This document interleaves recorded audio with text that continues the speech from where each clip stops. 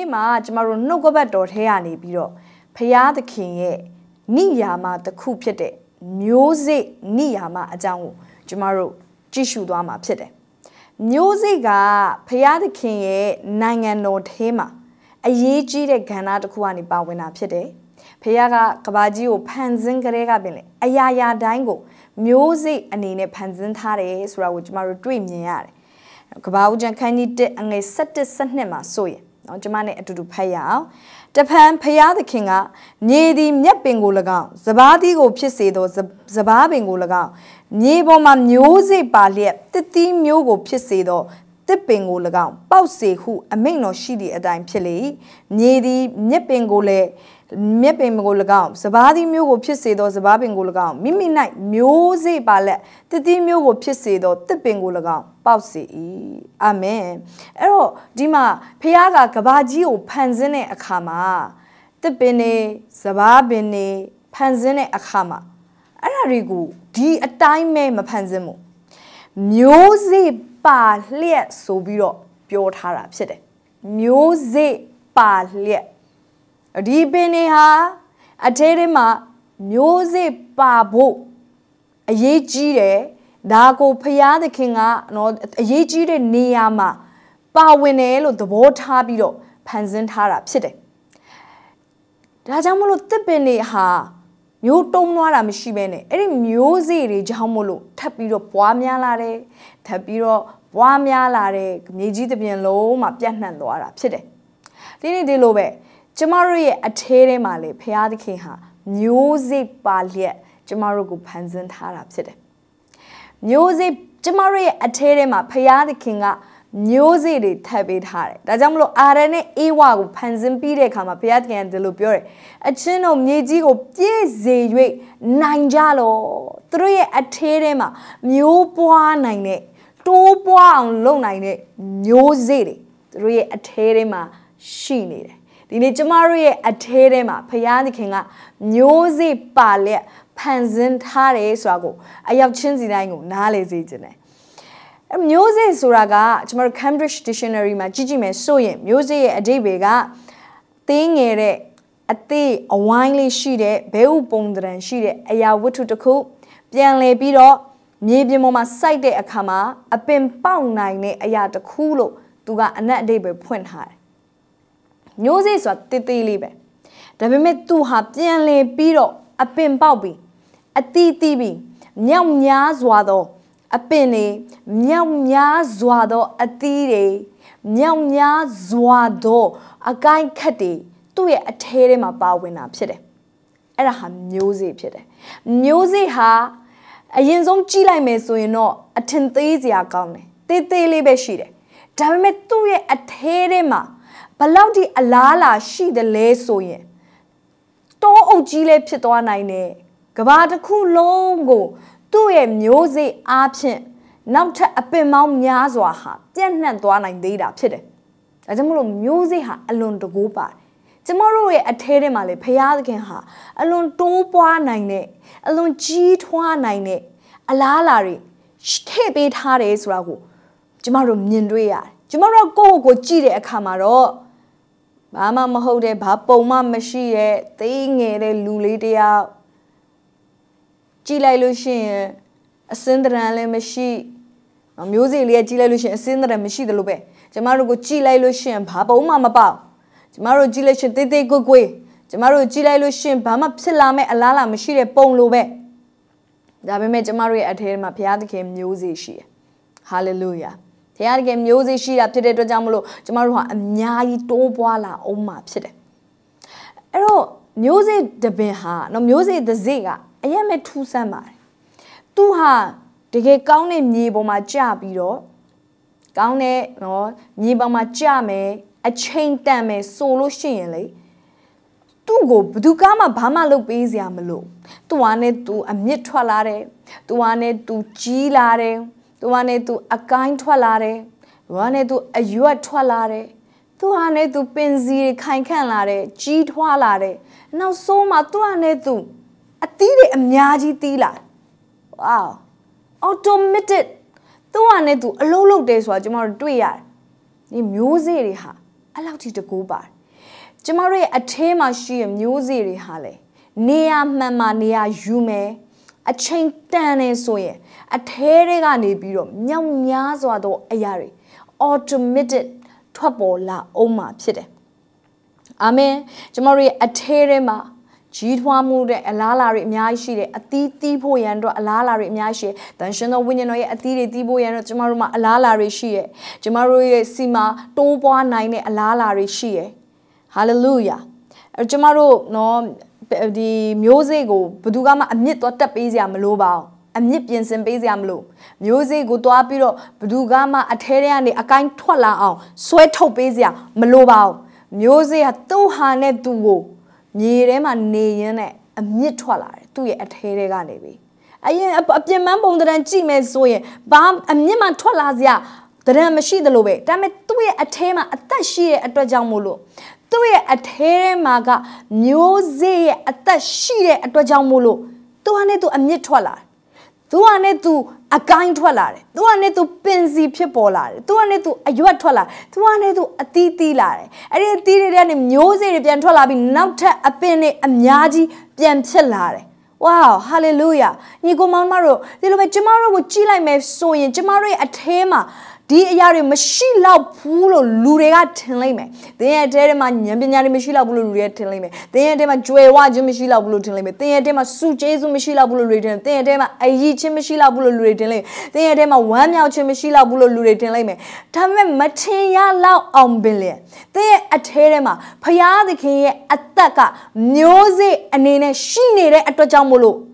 ဒီအံ့ဩဖွယ်ကောင်းတဲ့အရာတွေကသင်ရဲ့အသက်တာတွေကနေထွက်လာမှာဖြစ်တယ်။ ဘာကြောင့်မို့လဲဆိုတော့ရှင်ကပထမနော်ရှင်ကဩဝါဒစာပထမဆုံးအခန်းကြီး3အငယ်6မှာဒီလိုပြောတယ်။ဖယားသခင်ဖြစ်ဖွားစေသောဒုမူဒီကဒုစရိုက်ကိုမပြုတ်တတ်အကြောင်းမူကထိုသူ၌မျိုးစေ့တော်တီလျက်ရှိ၏ထိုသူသည်ဖျားသခင်ဖြစ်ပွားစေတော်မူသောသူဖြစ်သောကြောင့်ဒုစရိုက်ကိုမပြုတ်နိုင်အာမင်ဘာဖြစ်လဲဖျားသခင်ဖြစ်ပွားစေတဲ့သူရဲ့အထက်မှာဖျားသခင်ရဲ့ မျိုးစေ့တီလျက်ရှိတယ်ဘယ်သူရဲ့မျိုးစေ့ကျမတို့ရဲ့အထက်မှာတီနေရလဲဖျားသခင်အကြီးမြတ်ဆုံးသောဖျားကျမတို့ရဲ့ရင်ဘတ်လေးကိုတော့ပုတ်ပြီးတော့ပြောကြည့်ပါငါအထက်မှာဖျားရဲ့မျိုးစေ့ရှိနေတယ်အာမင်တင်းရဲ့အထဲမှာရှိနေတဲ့မျိုးစေ့ကတာမန်မျိုးစေ့မဟုတ်ဘူးတရောင်းစားဖြစ်ဖို့မျိုးစေ့မဟုတ်ဘူးမွဲမဲ့မျိုးစေ့မဟုတ်ဘူးရှုံးနေတဲ့မျိုးစေ့မဟုတ်ဘူး ဒုက္ခရောက်တဲ့မျိုးစေ့မဟုတ်ဘူးအမင်္ဂလာမျိုးစေ့မဟုတ်ဘူးယောဂဝေဒနာဆိုတဲ့မျိုးစေ့တဲ့ထဲမှာရှိနေတာမဟုတ်ဘူးယေရှုခရစ်ကိုယုံကြည်သောသူတိုင်းကဖခင်ရဲ့သားသမီးတွေဖြစ်လာပြီးတော့ဖခင်သခင်ရဲ့မျိုးစေ့ကကျမတို့ရဲ့အထဲထဲမှာတည်လျက်ရှိတယ်။ wow hallelujah hallelujah ဒီအရာကတင့်အတွက်သတင်းကောင်းဖြစ်တယ်။ဒီအရာဟာကျမတို့သတင်းကောင်းဖြစ်တယ်။ကျမတို့ဒါကိုမသိဘဲနဲ့ နှစ်ပေါင်းများစွာဆုံးရှုံးခဲ့ပြီးပြီမိတ်ဆွေနှုတ်ကပတ်တမန်တရားကတင့်ကိုဒီနေ့မှာပြန်လည်ပြီးတော့စကားပြောနေ။တင်းရဲ့အထဲထဲမှာရှိရဲ့မျိုးစေ့ကဖရာသခင်ရဲ့မျိုးစေ့ဖြစ်တယ်။ဒါကြောင့်မို့တင်းရဲ့အထဲထဲမှာအောင်မြင်ခြင်းတွေထွက်ပေါ်လာမယ်။သင်ရဲ့အထဲကနေပြီးတော့တိုးပွားခြင်းတွေထွက်ပေါ်လာမယ်။သင်ရဲ့အထဲကနေကောင်းစားခြင်းတွေထွက်ပေါ်လာမယ်။ဖခင်ရဲ့မျိုးစေ့ကသင်ရဲ့အထဲမှာရှိနေတဲ့အတွက်ကြောင့်မလို့သင်ဟာမစင်းရဲနိုင်။ ဖခင်ရဲ့မျိုးစေ့သင်ရဲ့အထဲမှာရှိနေကြမို့သင်ဟာစိတ်မပြတ်နိုင်။ဖခင်ရဲ့မျိုးစေ့သင်ရဲ့အထဲမှာရှိနေတဲ့ကြောင့်မလို့သင်ဟာမရှုံးနိုင်နိုင်ဘူး။သင်ဟာအမြဲအောင်မြင်နေသူဖြစ်လိမ့်မယ်။သင်ရဲ့အထဲမှာဖခင်ရဲ့မျိုးစေ့နေရာယူလျက်ရှိတယ်။အဲ့ဒီပြင်ကျမတို့ကိုဘုရားသခင်ကအာဗြဟံရဲ့မျိုးစေ့တွေလို့လည်းဘုရားကခေါ်တယ်။ဂလာတိဩရစာခန်းကြီး3အငယ်16မှာ ဂတိတော်တို့ကိုအာဗြဟံနှင့်သူ၏အမျိုးနွယ်၌ထားတော်မူ၏။အမျိုးနွယ်ဟုအများသောသူတို့ရည်မှတ်၍မိန့်တော်မူသည်မဟုတ်။သင်အမျိုးနွယ်ဟုတယောက်သောသူကိုရည်မှတ်၍မိန့်တော်မူ၏။ထိုတယောက်သောသူကခရစ်တော်ဖြစ်သည်။အာမင်။ယေရှုခရစ်အားဖြင့်ကျမတို့သည်အာဗြဟံရဲ့အမျိုးအနွယ်တွေဖြစ်လာပြီ။ အာမင်အာဗြဟံရဲ့အမျိုးအနွယ်တွေသည်ဖယားသခင်ရဲ့ကောင်းကြီးမင်္ဂလာအာဗြဟံခံစားရတဲ့ဖယားသခင်ကောင်းကြီးမင်္ဂလာများခံခွင့်ရတဲ့သူတွေဖြစ်လာပြီ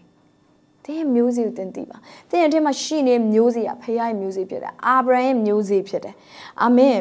အဲကြောင့်မို့ကျမ်းစာမှာတော့မျိုးစေ့နဲ့ပြောတဲ့ဖခင်သခင်ကတော့နှုတ်ကပတ်တော်ကိုမျိုးစေ့နဲ့ခိုင်းနိုင်ထားတယ်နော်တရက်မှာလူတယောက်ကသွားပြီးတော့မျိုးစေ့ကျဲတဲ့အခါမှာ အချို့သောမြေတွေကမကောင်းတဲ့အတွက်ကြောင့်အဆ30 60 100မတူဘဲနဲ့ပွားများမှုတွေမတူဘဲနဲ့တက်ရောက်တယ်ဆိုတဲ့အကြောင်းเนาะကျွန်တော်တို့ဖတ်ရတယ်ဒီမြေလေးမျိုးအကြောင်းပြောတဲ့အခါမှာမျိုးစေ့ကဘာကိုပြောနေရလဲဆိုတော့ဘုရားသခင်ရဲ့နှုတ်ကပတ်တော်ဖြစ်တယ်ဘုရားသခင်နှုတ်ကပတ်တော်ကမျိုးစေ့ဖြစ်တယ်။သင်ရဲ့အထဲထဲမှာဘုရားသခင်ရဲ့နှုတ်ကပတ်တော်ကမျိုးစေ့အနေနဲ့နေရာယူလာပြီဆိုရင်နှုတ်ကပတ်တော်ကလာကစားကတော့သင်နားထောင်တဲ့အရာကတော့တိတိလေးပဲ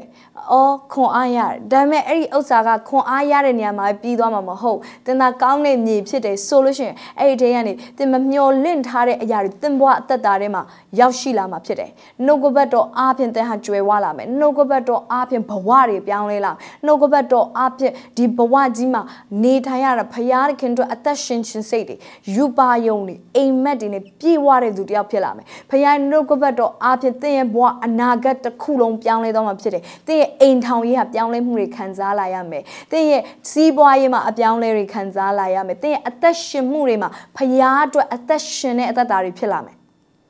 ဘာလို့လဲနှုတ်ကပတ်တော်ကမျိုးစေ့ဖြစ်တယ်မျိုးစေ့ဟာ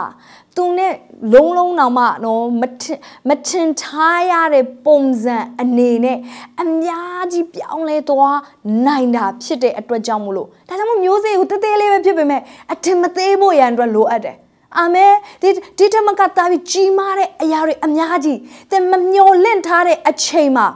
ဝုန်းကနေချက်ချင်းဆိုသလိုအပြောင်းလဲတွေဖြစ်သွားနိုင်တယ် အာမင်အဲကြောင့်ကျမတို့ကနော်မျိုးစေ့ကိုအထင်မသေးဖို့ရန်အတွက်လိုအပ်တယ်နှုတ်ကပတ်တော်မျိုးစေ့ကိုအထင်မသေးဖို့ရန်အတွက်လိုအပ်တယ်ယုံကြည်ခြင်းကလည်းမျိုးစေ့ဖြစ်တယ်လို့ကျမ်းစာကပြောတယ်နော်တင်းရဲ့စီမှာယုံကြည်ခြင်းကမုံညင်းဈေးလောက်ပဲရှိတယ်ဆိုရင်တော့မှသင်ကအီတောင်ကိုနေရာမှာရွှေ့ပင်လယ်၌ကြာလို့လို့ဆိုမယ်ဆိုရင်သင်ဆိုတဲ့အတိုင်းဖြစ်မယ်လို့ကျမ်းစာကပြောတယ်အဲ့တော့ယုံကြည်ခြင်းကလည်း မျိုးစေ့ဖြစ်တယ်။သင်မှာယုံကြည်ခြင်းရှိတယ်ဆိုရင်အဲ့ဒီယုံကြည်ခြင်းကဘာတွေကိုတောင်လုပ်နိုင်မလဲဆိုတာသင်မှန်းထားလို့တောင်မရဘူး။တောင်တွေကိုရွှေ့လို့တောင်ရတဲ့အထိတောင်ဆိုတာပုံမှန်အားဖြင့်ရွှေ့ဖို့ရန်အတွက်အရန်ခတ်တယ်။တောင်မတက်တယ်ဆိုတော့အရန်ခတ်တယ်။အဲ့ဒီတောင်တွေကိုရွှေ့နိုင်လောက်တဲ့အထိဖြစ်နိုင်တယ်။ဒါပေမဲ့သင်အထဲမှာရှိယုံကြည်ခြင်းမျိုးစေ့တေးသေးလေးကိုသင်ထင်မသေးပါနဲ့။ ဟာလေလုယာအာမင်အဲကြောင့်မို့ကျမတို့ဖခင်သခင်ဟာမျိုးစေ့အနေနဲ့အလို့လုပ်တဲ့ဖခင်ဆိုတာကိုကျမတို့စံစာထဲမှာအကျဉ်းချင်းအကျဉ်းချင်းမြင်တွေ့ရတာဖြစ်တယ်အာမင်ဖခင်သခင်ကဘာကြောင့်မလို့ကျမတို့ကိုမျိုးစေ့တွေပေးထားတာလဲနော်ခုနကလည်းကျမတို့ဖတ်ခဲ့တဲ့ကပောက်ကျန်ခန်းကြီးတက်မှာဖခင်သခင်ကအပင်တွေကို ပေါက်စီးတဲ့အခါမှာမျိုးစေ့တွေအထဲထဲမှာထည့်ထားပေးတယ်အပင်တွေကမျိုးစေ့မပါဘဲနဲ့ seedless တွေမဟုတ်ဘူးเนาะသူတို့ဟာအမြဲတမ်းအထဲထဲမှာမျိုးစေ့တွေရှိနေတယ်အပင်တွေရဲ့အထဲမှာမျိုးစေ့ရှိပြီးအဲ့ဒီမျိုးစေ့တွေအပြင်နောက်ထပ်အပင်တွေပွားများစေဘာကြောင့်မလို့ဖယားတခင်မျိုးစေ့ပေးထားတာလဲဆိုတော့ဖယားတခင်ရဲ့အလိုတော်ကတိုးပွားဖို့ရန်ဖြစ်တဲ့အတွက်ကြောင့်မို့လို့ဟာလေလုယာဟာလေလုယာ အဲ့တော့နော်ကောရိန္သုဩဝါဒစာဒုတိယဆောင်အခန်းကြီး6အငယ်6ကနေ10မှာဖခင်ရဲ့မျိုးစေ့ကိုပေးခြင်းအလိုတော်ကိုကျမတို့တွေ့မြင်ရတာဖြစ်တယ်ကောရိန္သုဩဝါဒစာဒုတိယဆောင်အခန်းကြီး6အငယ်6ကနေ10မှာသူဤဖြောက်မှတ်ခြင်းသည်အစဉ်အမြဲတည်တက်ဤဟုလာသည်နှင့်အညီသင်တို့သည်အရာရာ၌သုံးလောက်သောဥစ္စာအမျိုးမျိုးနှင့်အစဉ်ရှိ၍ကောင်းသောအကျင့်အမျိုးမျိုးနှင့်အထူးသဖြင့်ပြည့်စုံစေမည်အကြောင်း အမျိုးစုံသောမင်္ဂလာကျေးဇူးနှင့်အထူးသဖြင့်ပြည့်စုံစေခြင်းကဖရာသခင်တတ်နိုင်တော်မူ၏မျိုးစေ့ကျဲသောသူအားမျိုးစေ့ကို၎င်းအစာအာဟာရကို၎င်းပေးတော်မူသောသူသည်သင်တို့အားမျိုးစေ့ကိုပေး၍ပွားများစေတော်မူမည်ဟာလေလုယာအဲ့တော့ဒီမှာကျမတို့ဗာမြတ်လဲဆိုလို့ရှိရင်ဖရာသခင်ကမျိုးစေ့ကိုပေးတာဘာကြောင့်မို့လို့လဲကျမတို့ကိုအရာရာ၌ သုံးလောက်သောဥစ္စာအမျိုးမျိုးနဲ့အဆင်ရှိစေခြင်းလို့ကျမတို့ကိုကောင်းသောအကျင့်အမျိုးမျိုးနဲ့ပြည့်စုံစေခြင်းလို့တနည်းအားဖြင့်ပြောရမယ်ဆိုလို့ရှိရင်ဖရာသခင်ကကျမတို့ဘဝကိုတကယ်ပဲလုံလောက်ရုံမကပိုရှန်တဲ့အသက်တာနဲ့တွားစေခြင်းလို့ငွေကြေးလည်းပါတယ်ဒီစိတ်ပိုင်းဆိုင်ရာခန္ဓာပိုင်းဆိုင်ရာအရာရာဝိညာဉ်ရေးရာကဏ္ဍတိုင်းမှာအမျိုးမျိုးသောကောင်းကြီးမင်္ဂလာနဲ့ပြည့်စုံစေခြင်းလို့ ကျမတို့ရဲ့အသက်တာမှာဖခင်ကမျိုးစေ့တွေကိုပေးထားတယ်ဆိုတာကျမတို့မြင်တွေ့ရတယ်ဟာလေလုယာအာမင်ဖခင်သခင်ကကျမတို့ကိုမျိုးစေ့ပေးထားတာဟာပွားများစေဖို့ရန်အတွက်ဖြစ်တယ်ပြောပါပွားများစေဖို့ရန်အတွက်ဖြစ်တယ်အဲကြောင့်ကျမတို့ကမျိုးစေ့ကိုတန်ဖိုးထားဖို့လိုတယ်မျိုးစေ့ကိုပြန်တိုးပွားအောင်လုပ်တတ်ဖို့ရန်အတွက်လိုတယ်မျိုးစေ့ကိုတန်ဖိုးထားတတ်ဖို့ရန်အတွက်လိုတယ်တဘောကတော့အကယ်လို့ကျမအသက်ပန်းသီးတစ်လုံးနဲ့ မျိုးစေ့တစ်လုံးတစ်ခုဘေးဟာကိုရွေးမလဲလို့ကျမမေးတယ်ဆိုရင်တရားပန်းသီးကိုမရွေးဘဲနဲ့မျိုးစေ့ကိုရွေးတတ်ဖို့ရန်အတွက်လိုတယ်ဒါပေမဲ့လူတွေတော်တော်များများကပန်းသီးကိုပဲရွေးကြတယ်ဘာဖြစ်လို့လဲဆိုပန်းသီးကအခုချက်ချင်းစားပစ်လိုက်လို့ရတယ်ဒါပေမဲ့မျိုးစေ့ကတော့စားလိုက်လို့တော့မရပင်ဆိုင်ဖို့ရန်တော့လိုတယ် မြုပ်နှံဖို့ရန်အတွက်လိုတယ်အသီးသီးလာဖို့ရန်အတွက်ဆောင်ရတယ်ဒါပေမဲ့မကြခင်မှာသင်ဟာကြီးစွာသောလေကွင်းကြီးကြီးစွာသောတောအုပ်ကြီးကိုပြန်လေပြီးတော့မြင်တွေ့ရမှာဖြစ်တယ်ရိတ်သိမ်းရမှာဖြစ်တယ်အာမင်အဲဒါမှကျမတို့ကမျိုးစေ့ကိုတမိုးထားတတ်တဲ့လူတွေဖြစ်ဖို့လေဖခင်သခင်ကကျမတို့ကိုတစုံတစ်ခုပေးတဲ့အခါမှာ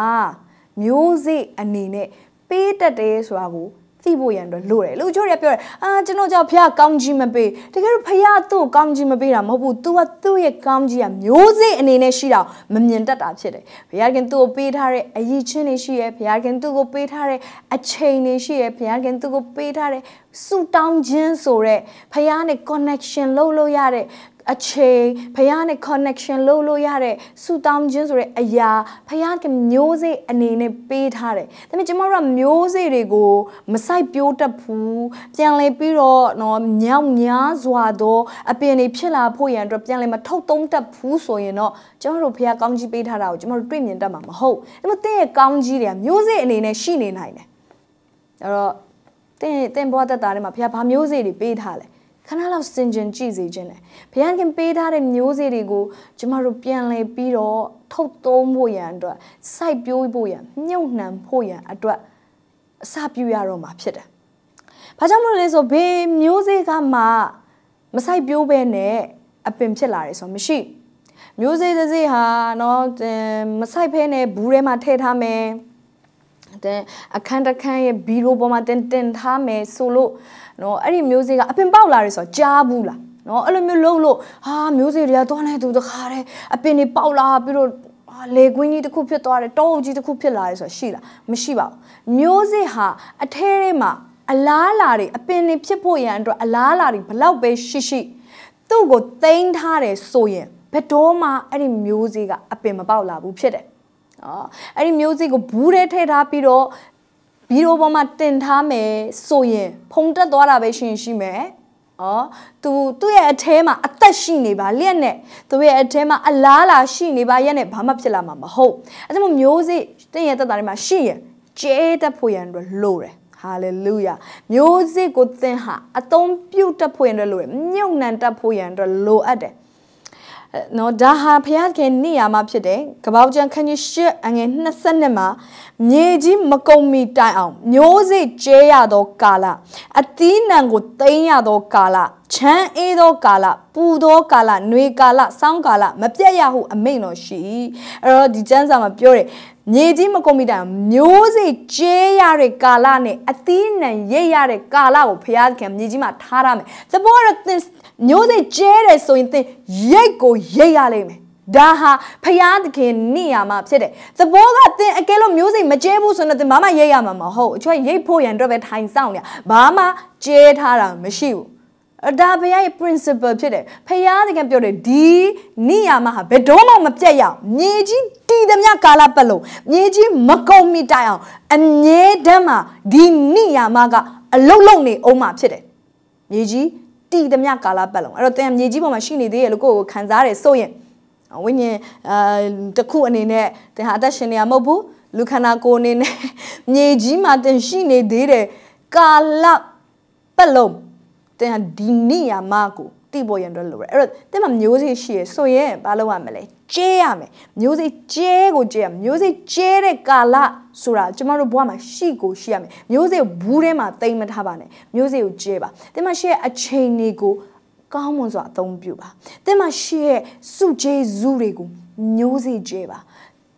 အလုံးလုံးပါအဲ့ဒီမျိုးစုကျေးဇူးတွေကိုအလုံးလုံးခွင့်ပေးပါသင်မရှိနေတဲ့ဘိတ်သိက်ချင်းတွေကို အလုံးလုံးခွင့်ပေးပါသင်မရှိနေတဲ့ငွေကြေးတွေကိုမျိုးစေ့ကျဲပါအလုံးလုံးခွင့်ပေးပါအာမင်မျိုးစေ့ကျဲရမယ်ကျွန်တော်တို့ဘက်ကနေမျိုးစေ့ကျဲမယ်ဆိုရင်ဘုရားခင်ကတိတ်လျက်ရှန်လျက်ရိတ်သိမ်းရတဲ့အခွင့်ကိုပေးမှာဖြစ်တယ်အာမင်မျိုးစေ့ဟာအယံကိုတကိုးပါတယ်မျိုးစေ့အထဲမှာကိုကတကိုးရှိပြီးသားဖြစ်တယ်ခုနတုန်းကလည်းကျွန်မပြောတယ်မျိုးစေ့တစ်ခုက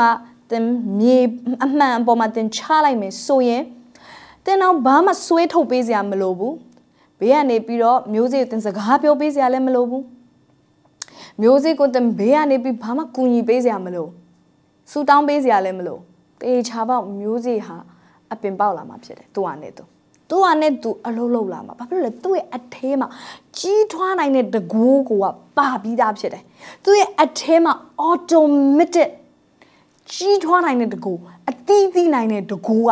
ပါပြီးသားဖြစ်တယ်ဘာဖြစ်လို့လဲ तू ကမျိုးစေ့ဖြစ်နေလို့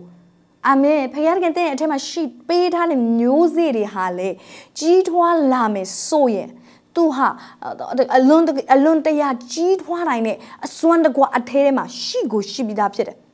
အဲ့တော့မျိုးစေ့ဟာအလွန်တကိုးပါတယ်သူ့ရဲ့တကိုးတွေကိုကျမတို့ဒီနေ့မှာကြည့်ကြည့်အောင်မျိုးစေ့အားဖြင့်တော့ဘာတွေဘဝတက်တာထဲမှာ ရောက်လာလိမ့်မယ်မျိုးစေ့အားဖြင့်ဖခင်တခင်တင့်ကိုဘာတွေလုပ်ပေးလိမ့်မလဲပထမဦးဆုံးကပောက်ကျန်ခန်းကြီး3အငယ်15မှာကျမတို့မျိုးစေ့ဟာဝိညာဉ်တိုက်ပွဲဝင်ပေးတယ်ဆိုတာကိုကျမတို့မြင်တွေ့ရတယ်သဘောကတော့သင်ဟာမျိုးစေ့ကျဲတယ်ဆိုရင်အဲ့ဒီမျိုးစေ့ကသင်အတွက်ဝိညာဉ်တိုက်ပွဲဝင်ပေးမှာဖြစ်တယ်သင်ကိုရန်သူမာနဲ့နတ်ဆွေလောက်ရက်တွေထဲကနေကာကွယ်ပေးလိမ့်မယ် ဒါကြောင့်အချွတ်တို့သူတွေကအသင်းတော်မှာမျိုးစေ့ကျဲတဲ့အတွက်ဖျားလူတွေကိုသူတို့မျိုးစေ့ကျဲတဲ့အတွက်သူတို့ရဲ့အသက်တာမှာအမြဲမျိုးစေ့ကျဲတတ်တဲ့အသက်တာရှိရဲ့အတွက်ကြောင့်မို့လို့သူတို့ဟာဖျားရဲ့ကိုယ်ကာပေးခြင်းကိုခံစားတယ်။ဘာဖြစ်လို့လဲအဲ့ဒီမျိုးစေ့ကသူတို့အတွက်ဝိညာဉ်တိုက်ပွဲဝင်ပေးလို့ကပောက်ကျန်ခန်းကြီး3ငယ်15မှာသင်နဲ့မိမကို၎င်းသင်အမျိုးအနွယ်နဲ့အမျိုးအနွယ်လို့ပြောတိုင်းပြောတိုင်းမှာအဲ့ဒါဟာမျိုးစေ့ကိုပြောတာဖြစ်တယ် the seed of woman အဲ့ဒါကယေရှုကိုပြောတာအမျိုးသမီးရဲ့မျိုးစေ့နော် the seed of woman နော်နှစ်မိမဤအမျိုးနွယ်အမျိုးနွယ်ကို၎င်းငါသည်ရန်ညိုးဖွဲ့စေမိအဲ့ဒါအဲ့ဒါကစာရန်ကိုနော်မွေကိုဖျားသခင်ချိန်တဲ့အရာဖြစ်တယ်တင်တဲ့မိမရဲ့မျိုးစေ့ဟာရန်ညိုးဖွဲ့လိမ့်မယ်မျိုးစေ့ကတိုက်ပွဲဝင်ပေးလိမ့်မယ် အာရနဲ့အေဝါကတော့ရှုံးသွားတယ်တိုက်ပွဲမှာဒါပေမဲ့သူတို့ရဲ့မျိုးစေ့ကတော့ဆက်ပြီးတော့တိုက်ပွဲဝင်နေတယ်ဝါဝါဟာလေလုယာဒါပေမဲ့ကျွန်တော်တို့ဟာမျိုးစေ့ကိုတိမ့်မထားဘဲနဲ့ကျဲတယ်ဆိုရင်အဲ့ဒီမျိုးစေ့ကတင့်အတွက်တိုက်ပွဲဝင်ပေးလိမ့်မယ်အာမင်သူဒီတင်းခေါင်းကိုကြိတ်လိုက်မိတင်းဒီလေသူဤဖနာကိုကြိတ်လိုက်မိဟုမိန်တော်မူ၏မျိုးစေ့ရတဲ့ကြောင့်မလို့ရန်သူရဲ့စီးတားခြင်းတယ် တင့်ကိုတိုက်ပွဲဝင်ပေးရရန်သူကတင့်ကိုမအောင်မြောင်စီးတားနေရလားမကြွယ်ဝအောင်စီးတားနေရလားဘာရီစီးတားနေလဲရန်သူကတင့်သွားရမယ့်လမ်းတွေကိုပိတ်ဆို့ထားတာလားနောက်ကျစေရလားနှောင့်နှေးစေရလားထင်ငေါထင်ငေါဖြစ်စေရလားဒီနေ့တင်မျိုးစေ့ကျဲဘူးလို့တယ်အဲ့ဒီမျိုးစေ့ကတင်ဝိညာဉ်တိုက်ပွဲဝင်ပေးနိုင်တဲ့အစွမ်းတကူသူ့ရဲ့အထဲထဲမှာရှိတာဖြစ်တယ် လူတွေကမျိုးစေ့ကိုစားပစ်လိုက်တယ်တကယ်တော့မျိုးစေ့ကိုစားပစ်လိုက်ရမှာမဟုတ်မျိုးစေ့ကိုစိုက်ရမှာမျိုးစေ့ကိုစိုက်ရမှာအဲ့လိုမျိုးတင်စိုက်တယ်ဆိုရင်သူဟာအကြီးမားဆိုအသက်ရှင်လာလိမ့်မယ်။တင်းရဲ့အသက်တာအတွက်ကောင်းကြီးမင်္ဂလာဖြစ်စေမယ့်အရာတွေကိုယူဆောင်လာပေးလိမ့်မယ်။အာမင်။မျိုးစေ့ဟာဘယ်လောက်ထိကြီးထွားလာနိုင်လဲဆိုတာကိုသင်မသိနိုင်ရှမကုခရစ်ဝင်ခန်းကြီး၄အငယ်26 29မှာ ယေရှုကပြောတယ်လူသားဒီလေ၌မျိုးစေ့ကျဲပြီးမှနောက်တစ်ဖန်မိမိမကြည့်မမှတ်ညနေအိတ်လျက်နိုးလျက်နေတော်လဲအပင်ပေါက်၍ကြီးပွားသည်နှင့်ဖျားသခင်နိုင်ငံတော်တူ၏မျိုးစေ့ဟာဖျားသခင်နိုင်ငံတော်ဟာမျိုးစေ့ကဲ့သို့ဖြစ်တယ်ဆိုတဲ့အကြောင်းကိုဒီနေရာမှာပြောထားတာဖြစ်တယ်။မြေကြီးသည်မိမိအလိုလျောက်အသီးကိုတီးစေ၍ရှေးဥစွာအညောက်ထိုးနောက် အနံထို့နောက်အနံထဲမှာအောင်မာသောအဆန်ကိုဖြစ်စေတတ်၏အသီးသီး၍ရိတ်ချိန်ရောက်သောအခါလေရှင်သည်မဆိုင်မလင့်သဇင်းနှင့်ရိတ်စေတတ်သည်ဟုမိန့်တော်မူ၏အာမင်အဖခင်ခင်နိုင်ငံတော်ဟာ automatic ကြီးထွားလာလိမ့်မယ်အကယ်လို့ကျမတို့မျိုးစေ့စိုက်မယ်ဆိုရင်အဲ့ဒီမျိုးစေ့က तू ဝင်ရမယ့်တိုက်ပွဲတွေကို तू ဝင်ပေးတယ်မျိုးစေ့ကအလိုလိုမျိုးပွားနိုင်တဲ့ အလားလာရှိတယ်တင်ထဲမှာမတိုးပွားအောင်စီးတားထားတဲ့အရာတွေအားလုံးကိုသူဟာဖယ်ရှားပေးနိုင်တာဖြစ်တယ်။ဘာဖြစ်လို့လဲမျိုးစေ့ကမျိုးပွားနိုင်တဲ့အလားအလာရှိတဲ့အတွက်ကြောင့်မို့လို့ဒါကြောင့်မို့ကျမတို့တစ်ခါလေးမှစုဝဲတောင်းလို့မရအောင်မျိုးစေ့ကျဲဖို့လိုတယ်။မျိုးစေ့ကျဲဖို့လိုတယ်။ဘာဖြစ်လို့လဲတင်မျိုးစေ့ကျဲလိုက်လို့ရှိရင်အဲ့မျိုးစေ့ကအလိုလိုလေးနဲ့တိုးပွားမှုတွေတင်အသက်တာထဲမှာဖြစ်စေတယ်။ તે ဆူတောင်းစရာတော့မလိုဘူး။ဘာဖြစ်လို့လဲဆိုအဲ့မျိုးစေ့ရဲ့အထဲက power ကိုကသူကတိုးပွားမှုကိုဖြစ်စေတဲ့ power သူ့ရဲ့အထဲထဲမှာရှိလို့ဖြစ်တယ် wow အာမင်အဲကျမတို့ကဆူတောင်းခြင်းကအရေးကြီးပါကျမဆူတောင်းခြင်းကိုတန်ဖိုးမထားဘူးပြောတာမဟုတ်ဒါပေမဲ့တိုးပွားမှုအတွက်ကတော့သင်ဆူတောင်းလို့ပဲမရသင်မျိုးစိကျဲဖို့လိုတယ်မျိုးစိကျဲလိုက်တယ်ဆိုမျိုးစိကသင်ဆူတောင်းပေးစရာတော့မလိုဘူး သင်ကြင်ညာစရာလည်းမလိုသင်ကြွေးကြော်စရာတော့မလိုသူကနဲ့သူတိုးပွားလာမှာဖြစ်တယ်မျိုးစေ့ရဲ့အထဲထဲမှာကတိုးပွားနိုင်တဲ့စွမ်းအားရှိပြီးသားဖြစ်တဲ့အတွက်ကြောင့်မို့လို့အဲ့စွမ်းအားတန်ရှင်သောဝိညာဉ်တော်ရဲ့တကူတော်ဖြစ်တယ်တန်ရှင်သောဝိညာဉ်တော်ရဲ့တကိုးတော်ကအနာရောဂါငြိမ်းချမ်းကိုဖြစ်စေနိုင်တယ်လို့တန်ရှင်သောဝိညာဉ်တော်ရဲ့တကိုးတော်က deliverance လုပ်ပေးတယ်လို့တန်ရှင်သောဝိညာဉ်တော်ရဲ့တကွက်တဲ့အောင်မြင်ခြင်းကိုပေးနိုင်တယ်လို့တန်ရှင်သောဝိညာဉ်တော်ရဲ့တကိုးတော်က တင့်ကိုတိုးပွားခြင်းကိုဖြစ်စေနိုင်တယ် hallelujah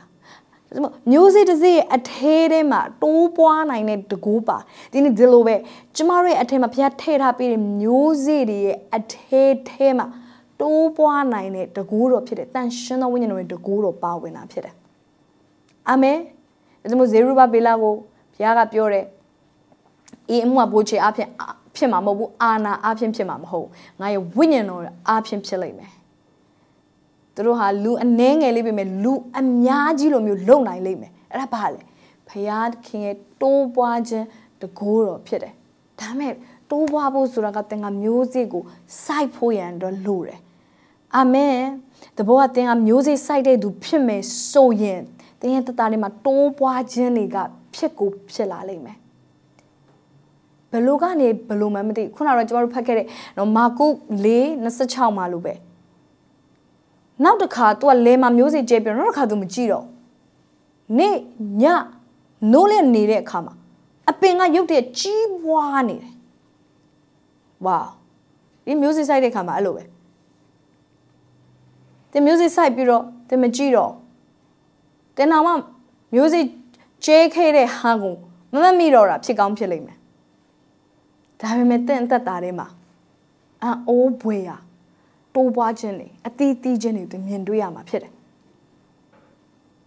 ဒီမျိုးစိကျဲတဲ့ကြောင့်တင့်ဘယ်သူမှကြီးညာပေးစရာမလိုလူတွေကတင့်ကိုသိတယ်။ဒီမျိုးစိကျဲတဲ့အတွက်ကြောင့်မလို့တင့်ဘယ်သူမှဖားစရာမလိုလူတွေကတင့်ကိုဆိုလုတ်ပေးခြင်းတယ်။ဟာဘာဖြစ်တာလဲ။တင့်ရဲ့အသက်တာထဲမှာမျိုးစိကကိုစားပြုတ်ပြီးအလုတ်လုတ်ပေးနေတာဖြစ်တယ်။တင်လုတ်တာမဟုတ်တော့ မျိုးစိရဲ့အထဲတွေက automatic တိုးပွားခြင်းကောင်းစားခြင်းတကိုးတော်ကအလုပ်လုပ်ပေးနေတာဖြစ်တယ်။တင်ဘသူမှမနာလို့ဖြစ်စရာမလို။ဘာဖြစ်လို့လဲ။တင်ကဘသူမှမပြိုင်နိုင်တဲ့အနေအထားတင်ဖြစ်လာလိမ့်မယ်။ဟာလေလုယာ။တင်ဘသူကမှပြိုင်စရာမလိုဘူး။ဘာဖြစ်လို့ဆိုဘသူမှတင်မပြိုင်နိုင်တော့လို့ဖြစ်တယ်။တင်နေမအိမ်ညမအိမ်စူးစမ်းနေရတာလည်းမဟုတ်ဘူး။ တင်ကိုဖရားသခင်ကမျက်နှာသာပေးတဲ့အတွက်ကြောင့်မို့လို့လူတွေကြိုက်အောင်အောင်တင်လုပ်ဖို့မလို့လူတွေကတင့်ကိုသဘောကျလိမ့်မယ်အဲ့လိုပြောလို့တင်ကလူတွေနဲ့နော်အာမတက်အောင်နေဖို့ပြောတာမဟုတ်ပါဘူးဒါပေမဲ့တင်လူတွေကိုဖားပြီးတော့သူမျက်နှာကိုပဲကြည့်ပြီးတော့ဖះမျက်နှာတော့မကြည့်ဘဲနဲ့သွားစရာမလိုအပ်ဘူးဖြစ်တယ်ဖះသခင်မျိုးစိတင်ဟာစိုက်တက်တဲ့သူဖြစ်မယ်မျိုးစိကျဲတက်တဲ့သူဖြစ်မယ်ဆိုရင်တင်ရဲ့တက်တာထဲမှာ တင်မထင်မှတ်ထားတဲ့အရာတွေတင်ဘဝတက်တာထဲမှာအလုတ်လုတ်လာတယ်ဖြစ်ပေါ်လာမယ်ဆိုတာသသင်မြင်တွေ့ရလိမ့်မယ်ဟာလေလုယာသင်ဘာမှာပဲနေနေသင်ဘာပဲလုပ်လို့ကောင်းကြီးမင်္ဂလာကသင်ရဲ့အသက်တာထဲမှာဖြစ်လိမ့်မယ်ဣသရေလလူတွေကိုမောရှေပြောတဲ့ကောင်းကြီးမင်္ဂလာလို့မြို့မာနေနေတောမာနေနေကောင်းကြီးရတဲ့သူဖြစ်လိမ့်မယ်ဘာဖြစ်လို့လဲမျိုးစေ့ကသူတို့တော့အလုတ်လုတ်ပေးနေလို့ဘေးမြို့မှာ तू နေတယ်ဆိုတဲ့အရာက तू နဲ့ မဆိုင်တော့မျိုးစေ့ကဘေးမြို့မှာပဲနေနေသင်တို့အလုတ်လုတ်ပေးမှာဖြစ်တယ်ဟာလေလုယာအာမင်အဲ့မျိုးစေ့ကဆိုက်ဖို့ရန်အတွက်လိုတယ်မျိုးစေ့ကကျဲဖို့ရန်အတွက်လိုတယ်မျိုးစေ့ကဘူးထဲမှာတိန်းထားလို့မရဘူးဖြစ်တယ်ဒါကိုဟေဘရဲအခန်းကြီး7အငယ်7မှာဖော်ပြထားတယ်သူ၏ခင်မွန်စာရာဒီလေအရွယ်လွန်သောအခါပရိသေယူနိုင်သောအခွင့်တကိုးကိုယုံကြည်ခြင်းအဖြစ်ခံရလေပရိသေလို့ပြောတိုင်းမှာဒါဟာ မျိုးစေ့ဖြစ်တယ်အဲပရိသေယူနိုင်တဲ့အခွင့်တကိုးဆိုတဲ့အခါမှာတော့မတူတော့မျိုးစေ့ကိုလက်ခံနိုင်တဲ့စွမ်းအားလူချို့တွေကမျိုးစေ့မရတာမဟုတ်ဘူးနော်မိမယောက်ျားစီကနေမျိုးစေ့မရတာမဟုတ်ဒါပေမဲ့အဲ့ဒီမျိုးစေ့ကိုသူ့ရဲ့ဝမ်းကမထိန်နိုင်တာဖြစ်တယ်အကျို့လူတွေကိုဝင်ရတယ်ဒါပေမဲ့ပြက်ကျသွားတဲ့သူတွေအများကြီးပဲမျိုးစေ့ရတယ်ဒါပေမဲ့ မျိုးစေ့ကဘဝထဲမှာအလုံးမလုံးလာတဲ့လူတွေအများကြီးပဲအဲဒါမှကျွန်တော်တို့ကမျိုးစေ့ကိုလက်ခံနိုင်တဲ့သူဖြစ်ဖို့ရန်အတွက်လိုတယ်ပြောပါအောင်ကျွန်ုပ်ဒီဖခင်ပေးတဲ့မျိုးစေ့တွေကိုလက်ခံနိုင်တဲ့သူဖြစ်မယ်အမေသင်ဘွားသက်တာကဖခင်ပေးတဲ့မျိုးစေ့တွေအပင်ပေါက်ပြီးအတီးတီးပြီးကြီးထွားလာတဲ့သူဖြစ်ပါစေဘယ်မျိုးစေ့မှမပြတ်ပါစေနဲ့ဖခင်သင်ကိုပေးထားတဲ့မျိုးစေ့တိုင်းကအတီးတီးအပင်ပေါက်ပြီးတိုးပွားလာတဲ့အသက်တာဖြစ်ပါစေအဲ့တော့ဆာရာကဗရိတ်တွေ ယူနိုင်တဲ့အခွင့်တကူကိုရတယ် conceive လုပ်နိုင်တဲ့ conceive ဆိုတာကဒီဗရိတ်တွေကတ်နိုင်တဲ့เนาะကိုဝင်ကတ်နိုင်တဲ့အခွင့်ကိုသူရတယ်အဲ့ဒီအရာကြောင့်မို့လို့သူဟာမျိုးစေ့ဖြစ်တဲ့ဣဇက်ကိုမွေးဖွားနိုင်တဲ့ဣဇက်အားဖြင့်လဲနောက်ထပ်သမုတ်တရားတဲလုံးနဲ့အမျှများပြားတဲ့လူမျိုးနွယ်ကြီးဖြစ်လာတယ် အဲ့အရန်ရေးကြည့်ပါတယ်ကျမတို့ဘဝမှာရလာတဲ့မျိုးစေ့ကိုပြန်လည်ပြီးတော့အသုံးပြုတတ်ဖို့လိုတယ်ရလာတဲ့မျိုးစေ့ကိုဘဝတက်တာတွေမှာခိုင်မြဲအောင်ယုံကြည်ခြင်းနဲ့နေရာပေးတတ်ဖို့ရန်အတွက်လိုတယ်ဘုရားခင်တင့်ကိုပေးထားတဲ့မျိုးစေ့တွေယုံကြည်ခြင်းနဲ့တင်စတဲ့အသုံးပြုပြီလားအဲ့ဒီမျိုးစေ့ကိုတင်တင်မှာလက်ခံနိုင်စွမ်းရှိပြီလားအချို့လူတွေကိုယ့်ရဲ့ထဲမှာမျိုးစေ့ရှိတာတော့မထီမဲ့မြင်ပြုတဲ့သူတွေအများကြီးပဲမျိုးစေ့ကိုတန်ဖိုးမထားတဲ့သူတွေအများကြီးပဲ မျိုးစေ့တွေကိုပစ်ထားပြီးတော့ဖရာသခင်ကိုပဲအပြစ်တင်နေတဲ့သူတွေအများကြီးပဲဖြစ်တယ်။ဒါဆာရာလိုပဲဗရိတ်တွေယူနိုင်တဲ့အစွမ်းတကူတွေရရှိပါစေ။မျိုးစေ့တွေကိုအလုံးလုံးလာအောင်ပြုစုပေးနိုင်တဲ့အစွမ်းတကူတွေရရှိပါစေ။အာမင်။အဲ့ဒီမျိုးစေ့ဟာအများကြီးတင့်တော့အလုံးလုံးပေးမှာဖြစ်တယ်။မျိုးစေ့ကဘာတွေကျမတို့တို့အလုံးလုံးပေးမလဲ။ကျမနဲ့အတူကြည့်အောင်။ ကပောက်ကျန်ခန်းကြီး15အငယ်16နဲ့21မှာအာဗြဟံရဲ့မျိုးစေ့ဟာဘာဖြစ်လာလဲကျမနဲ့အတူဖတ်ရအောင်ထိုနေ့၌ထာဝရဘုရားသည်အာဗြဟံနှင့်ဗြိဉ္ဉ်ပြုတော်မူလျက်အေဂုရုပြည်မှစ၍မြစ်ကြီးဒီဟုသောအိုဖရက်မြစ်တိုင်အောင်ဤပြည်ကို၎င်းခေနိလီ ကေနဇီလူကာဒမောနီလူဟီတီလူဖေရဇီလူယေဖိန်လူအာမောရီလူခါနနီလူဂီရဂါရှိလူဟေဗုတိလူတို့ကို၎င်းတင်းအမျိုးတွေကအငါအပ်ပေးပြီဟုမိန်တော်မူ၏အာမင်အဖယားကင်ကအာဗြဟံကိုဗာပြောလဲဆိုလို့ရှင်အာဗြဟံတင်းရဲ့မျိုးနွယ်ကိုငါအေဂုတုမြစ်ကနေစပြီးတော့အိုဖရက်မြစ်တိုင်အောင်ဤပြည်ကိုငါပေးမယ်တင်းရဲ့ မျိုးစေ့ဟာမြေတွေပိုင်ဖို့ရန်တော့အလားလာရှိတယ်မျိုးစေ့ထဲမှာဘာအလားလာရှိလဲဆိုတော့မြေတွေပိုင်ဖို့ရန်အတွက်အလားလာရှိတယ်ဘုရားခင်ကောင်းကြီးပေးအာဗြဟံမျိုးစေ့ကောင်းကြီးပေးအာဗြဟံမျိုးစေ့မြေတွေပိုင်လိုက်မှာဒီနေ့မိတ်ဆွေသိလားတင့်ရဲ့မျိုးစေ့အထဲထဲမှာမြေတွေပိုင်ဖို့ရန်အတွက်အလားလာရှိတယ်ကျွန်မအရင်တော့ကျွန်မအိမ်ငါးပွားနဲ့ကျွန်မနေတယ် ကျမတခါမှအိမ်အိမ်ပိုင်ရဖို့ရန်တော့ကျမအတွက်ကမဖြစ်နိုင်တဲ့အရာတစ်ခုလိုပဲနှစ်ပေါင်းများစွာကျမအိမ်ပိုင်ရဖို့ရန်အတွက်ကကျမတို့အရန်ခတ်တယ်ဘာဖြစ်လို့လဲဆိုတော့ကျမရဲ့ဝင်ငွေနဲ့ကျမကပြန်ပြီးတော့ကုန်ကြတဲ့အရာနဲ့အိမ်မှာကျမကအိမ်ထောင်ဦးစီးလိုပဲဖြစ်တယ်နော်ကျမကုန်ကြစည်းတွေအားလုံးကကျမစီကနေပဲသွားတာဖြစ်တယ်အဲ့တော့ကြောင့်မလို့ဘလို့လို့အိမ်ဝယ်ဖို့ရန်အတွက်ဖြစ်နိုင်မလဲခြေလန်းလန်းဖို့ရန်အတွက်မဖြစ်နိုင်ကျမတို့ ဒါပေမဲ့ဖခင်ကျွန်မကိုနော်ဒီနှစ်ဆမှာကျွန်မကိုနှိုးဆော်တယ်ကျွန်မအူးသီးနော်ပေးဖို့ရန်အတွက်အဲ့ဒီအူးသီးကလည်းဘလောက်ဘလောက်ဆိုတဲ့အမောက်ဖခင်ကျွန်မကိုဖော်ပြတယ်အဲ့လောက်ငါတင့်ကိုပေးမယ်အဲ့ဒီအရာတင်ပေးနိုင်လိမ့်မယ် ကျမလည်းဆုံးဖြတ်တဲ့ကိုရောကျမကိုရောပေးမယ်အန်ဩစရာကောင်းတယ်အဲ့ဒီအမောင့်ကကျမတခါမှတလအတွင်းမှာမရဘူးဖြစ်တယ်တလလုံးမှာဘုရားခင်ကျမကိုပေးတဲ့အခါမှာအဲ့ဒီအမောင့်ကိုဘုရားခင်ကျမကိုပေးလာအဲ့ဒီအားလုံးကိုလည်းကျမဘုရားရဲ့နိုင်ငံတော်ထဲမှာအကုန်ပြန်ပြီးတော့ကျမပါဝင်တယ်ကျမမျိုးစေ့ကိုကျဲလိုက်တယ်ကျမရဲ့မျိုးစေ့ကိုကျမဘူးထဲမှာပဲမသိမ်းထားကျမရဲ့မျိုးစေ့ကိုကျမမျိုးစေ့ကျဲလိုက်တယ်ကြေးလိုက်တဲ့အခါမှာအံ့ဩစရာကောင်းတယ်ကျမကိုဖခင်ခင်အိမ်ဝယ်နိုင်ရတဲ့အခွင့်ကိုဖခင်ခင်ပေးလာတယ် ကျမတို့เนาะတကယ်ပဲအိမ်ဝယ်တဲ့အခါမှာဈေးကိုဘယ်လိုမျိုးဘယ်လိုမျိုးပေါ့เนาะတတ်တတ်တာတာနဲ့ဝယ်လို့ရအောင်နီလန်းနေဘုရားသခင်ပြင်ဆင်ပေးတယ်အံ့ဩစရာကောင်းတယ်เนาะပိုင်မို့ရန်တော့မဖြစ်နိုင်ဘူးဆိုတဲ့အရာတွေ ပိုင်ဆိုင်ခွင့်ဘုရားခင်ပေးလာတယ်ဟာလေလုယာအာမင်အဲ့တော့ကျွန်မယုံကြည်ရဲ့ဒီနေ့တင့်ရဲ့အသက်တာထဲမှာလေဘုရားခင်ကအလုပ်လုပ်လိမ့်မယ်သင်မပိုင်ဆိုင်နိုင်ဘူးလို့သင်ထင်တဲ့အရာတွေသင်ဒီနှစ်မှာပိုင်ဆိုင်ရတဲ့ခွင့်2023မှာဘုရားခင်တင့်ကိုအိမ်ပိုင်နေမြေပိုင်နေအံ့ဩပွေရပေးလာမှာဖြစ်တယ်ဒါပေမဲ့သင်ရဲ့မျိုးစေ့အလုံးလုံးခွင့်ပေးဖို့ရန်အတွက်လိုတယ်မျိုးစေ့ကျဲဖို့ရန်အတွက်လိုတယ် ဟာလေလုယာဘာဖြစ်လို့လဲတင်းရဲ့မျိုးစေ့မှာမြေပိုင်ဖို့ရန်အတွက်အလားလာရှိတာဖြစ်တယ်။တင်းရဲ့မျိုးစေ့ကမြေတွေကိုတင့်ကိုပိုင်ဆိုင်ရတဲ့အခွင့်တွေပေးလာလိမ့်မယ်။အာမင်။တင်းကအမြဲတမ်းအိမ်ငါးဘွားနဲ့ပဲနေစရာမလိုဘူးဖြစ်တယ်။ဘုရားခင်တင့်ကိုအိမ်ပိုင်ပေးခြင်းတယ်။ဘုရားခင်တင့်ကိုမြေပိုင်ပေးခြင်းတယ်။အိမ်ဆိုရင်တော့မှ တင့်ကိုဘုရားခင်ကအိမ်သေးသေးလေးပဲပေးမှာမဟုတ်။အိမ်အကြီးကြီးလည်းပေးခြင်းတယ်ဟာလေလုယာဘုရားခင်တင့်ကိုမြေတနေရာပဲပေးခြင်းတာမဟုတ်ဘူးမြေအများကြီးပေးခြင်းတယ်ဘုရားခင်မျိုးစေ့ရဲ့အထဲထဲမှာမြေပိုင်နိုင်တဲ့တကိုးလေးပါဝင်တာဖြစ်တယ်အာမင်ဟာလေလုယာဟာလေလုယာ နောက်ပြီးတော့เนาะကျမတို့မျိုးစေ့ရဲ့အထက်မှာနောက်တစ်ဘာတကိုးပါသေးလဲဆိုရင်ကပောက်ကျန်ခန်းကြီး16အငယ်30မှာတပန်သာရဖျိုက်ကောင်းငင်တမန်က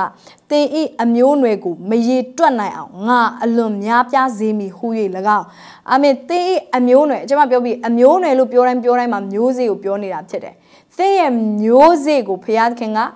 မရေတွက်နိုင်လောက်အောင်များပြားစေမယ်ဝေါသင်ရဲ့မျိုးစေ့ဟာ ဘာဖြစ်မဲ့တဲ့လေတိုးပွားမယ်ခုနလေးကျွန်မပြောပြီးမျိုးစေ့ရဲ့အထဲမှာတိုးပွားနိုင်တဲ့အလားလာအများကြီးပါတယ်အဲ့တော့သင်ဟာ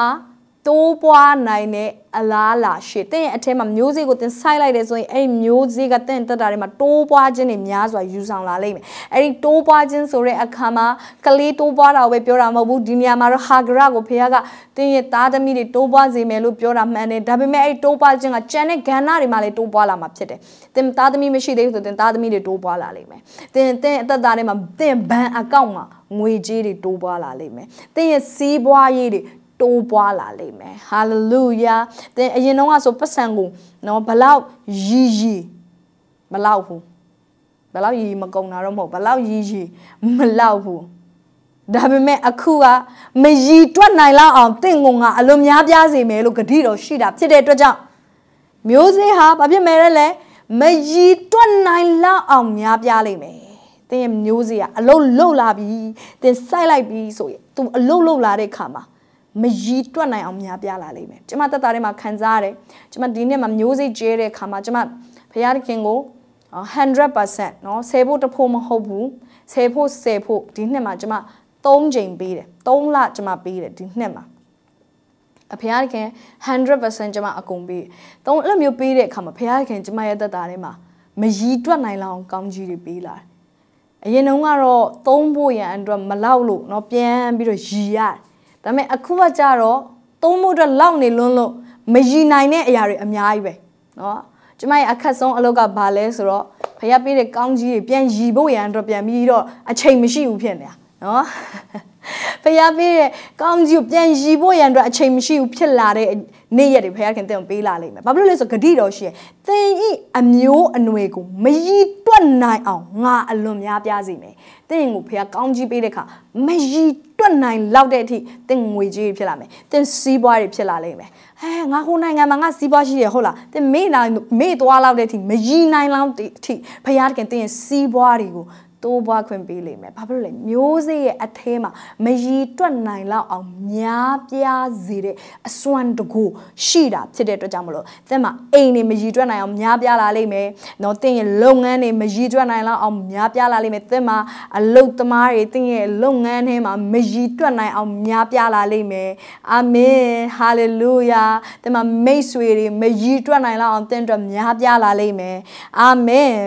နောက်ပြီးကပောက်ကျန်ခန်းကြီး26ငွေ3ကနေ4မှာမျိုးစေ့ရဲ့အထက်မှာဘာတကိုးတွေပါလဲဆိုတော့ကျွန်တော်တို့ဆက်ပြီးတော့ကြည့်အောင်ယခုဤပြည်၌တဲခိုရင်နေလို့သင်ဘက်မှာငါနေ၍ကောင်းကြီးပေးမိအကြောင်းမူကားသင်နှင့်သင်အမျိုးနွယ်အားဤပြည်ရှိသမျှတို့ကိုငါပေးမိသင်အဘအာဗြဟံကငါကျိန်ဆိုသောစကားရှိသည့်အတိုင်းငါပြုမိသင်အမျိုးနွယ်ကိုကောင်းကင်ကျဲကဲ့သို့များပြားစေမိ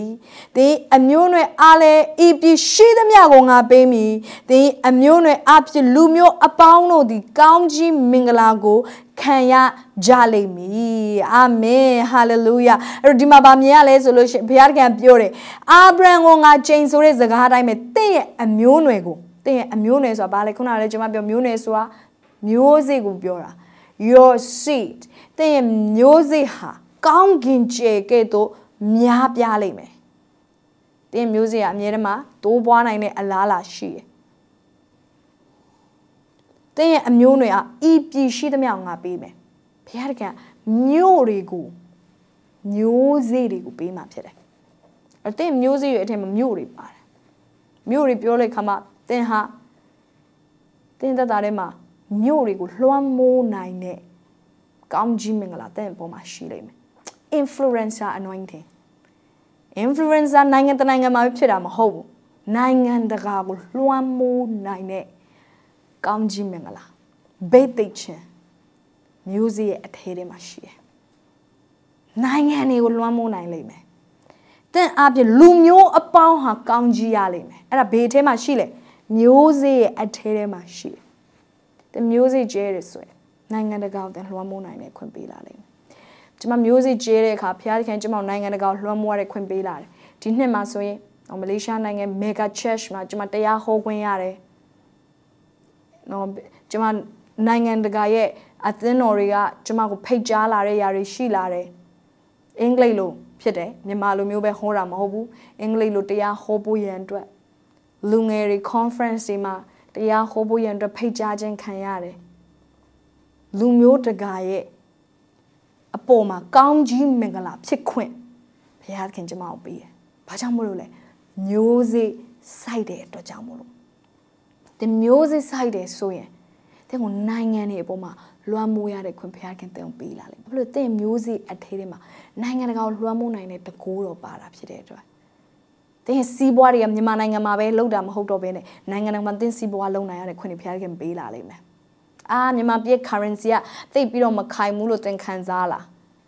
ဘုရားခင်တင့်ကိုနိုင်ငံတကာမှာစီးပွားတွေလုပ်ရတဲ့ခွင့်တွေပေးလာလိမ့်မယ် နိုင်ငံတကာမှာတင်တင်တင်တင်မြန်မာနိုင်ငံရဲ့ကောင်းကြီးမင်္ဂလာကိုနိုင်ငံတကာကိုတည်ဆောင်သွားနိုင်တဲ့သူဖြစ်လိမ့်မယ်မြန်မာပြည်ကလူဖြစ်ပေမဲ့နိုင်ငံတကာမှာတွားပြီးတော့လူတွေအားကျပြီးတော့တင်ယူရတဲ့